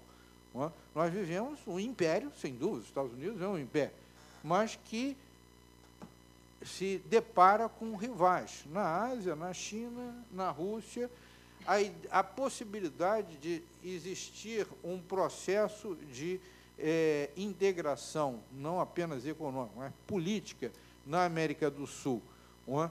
é, dotado de capacidade de jogar com uns e outros, com os Estados Unidos, porque nunca foi política do, do Brasil hostilizar os Estados Unidos, mas aprofundar relações com a China ou, ou em, algum, em alguma medida, talvez é, também com a Rússia, é? no plano militar, isso daí foi um cuidado sempre observado. É? tivemos concorrência para compra de caças e tal, e não incluímos entre os fornecedores possíveis a Rússia. Mas por que não? A Venezuela fez isso. Por que não fazer é, mais adiante se somos sócios no BRICS? Então, este foi um elemento também que eu acho que pesou nessa e pesa nessa conjuntura. Então, temos aí, voltando à questão do Estado uh, americano. O Estado americano tem, tem claros, digamos assim, desencontros com a orientação da política eh, brasileira desses últimos anos. Há grupos na sociedade americana extremamente interessados em desmontar essa, essa política, interesses econômicos, políticos, ideológicos, e eu acho que se não incluirmos esses elementos, é, nós não entendemos as condições de reemergência da direita com a força que tem aqui. É, essa direita tem projeto? Que projeto é esse? Pode ser muito diferente. Tem grupos militares que devem ser nacionalistas e que não estão absolutamente nada satisfeitos com a desmontagem do programa do submarino nuclear a Lava Jato botou na prisão um almirante, Otton, de mais de 70 anos, o criador do programa nuclear brasileiro. Enfim, ele estaria é, no, digamos assim, é, digamos assim, no, enfim, uma galeria, digamos assim, dos heróis. É? Ele foi preso por esse juizinho aqui de, de aqui não, perdão, de, do Paraná. Não é? Hã? De Curitiba. Ele foi preso, já saiu, voltou, porque foi desmembrado, está no Rio de Janeiro e tal, agora está em casa. Mas em prisão domiciliar. Esses grupos não estão satisfeitos com isso. Mas, como eu disse, esse campo, o campo da direita, não é um campo homogêneo, mas é um campo estratificado. O que é, prevalece nesse campo é um programa de liquidação nacional, literalmente, de liquidação nacional, em todos os planos. É transformar o Brasil num grande Porto Rico num grande Porto Rico. Se pudessem decretar, decretavam que no, no lugar de português fala-se agora inglês. É? E com isso acaba um grande, digamos assim, um, é, o custo do Brasil ia diminuir muito, né, se todo mundo falasse inglês. Sem dúvida, porque lógico. Né? Então, enfim, a Índia tem essa vantagem, foi colonizada pelos ingleses e tal, então se escreve e fala então, é, é, esse é o programa do PMDB. Não é de todo o PMDB, não é do Reikião, mas o programa que a Fundação Ulisses Guimarães, é? o que é uma ofensa ao Ulisses Guimarães, mas o, o programa que o Moreira Franco é, patrocinou, a ponte para o futuro, é a ponte desse futuro é de liquidação, liquidação nacional. Então, enfim, eu não sei, eu já falei é, de várias das questões, espero ter é, tocado em, de alguma forma, em quase todas, se não todas. A questão da corrupção, sem dúvida, eles é, pegaram isso e em relação a. Eu vou fazer uma brincadeira, porque alguém mencionou também a questão dos símbolos e dos valores nacionais. No ano passado, em maio, teve uma, uma, uma das manifestações, não foi a maior, mas uma das manifestações grandes da direita na Paulista, e eu estive nessa manifestação com um amigo, que é um teórico das crises políticas, francês, chamado Michel Dobry que, enfim, nós publicamos na coleção um livro, Sociologia das Crises Políticas, que eu sugiro, é um, é um grande livro, né? talvez o mais denso livro sobre esse tema que eu conheço. E o Michel é, caminhava comigo e disse, que gozado, esse pessoal vem aqui para a manifestação com a camiseta da FIFA, da seleção brasileira. Não é, o, o amarelo deles é um amarelo fake, é um amarelo da organização criminosa, corrupta, cujos dirigentes estão nos Estados Unidos presos. Não é a camisa que eles vão, que eles põem na rua, não é a camisa brasileira, é da FIFA, é da CBF, se vocês quiserem. Então, é, de novo, eu estou dizendo isso de forma um pouco irônica, embora enfática, para dizer o seguinte: eles disputam.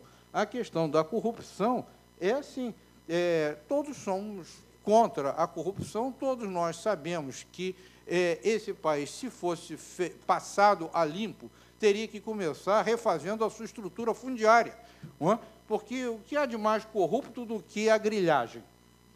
mas eles redefinem os, o significado.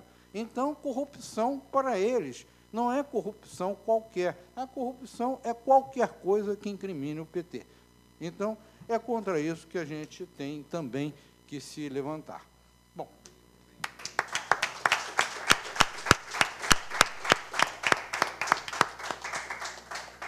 Professor Sebastião, muito obrigado pela sua contribuição várias pessoas que foram comentando conosco agora, que tiveram que sair antes, saíram fortalecidos, nós todos saímos daqui fortalecidos para lutarmos pela democracia, pela liberdade, pelo nosso país. Obrigado, Soriano, a Perseu Abramo, todos e todas que participaram. Um grande abraço, obrigado.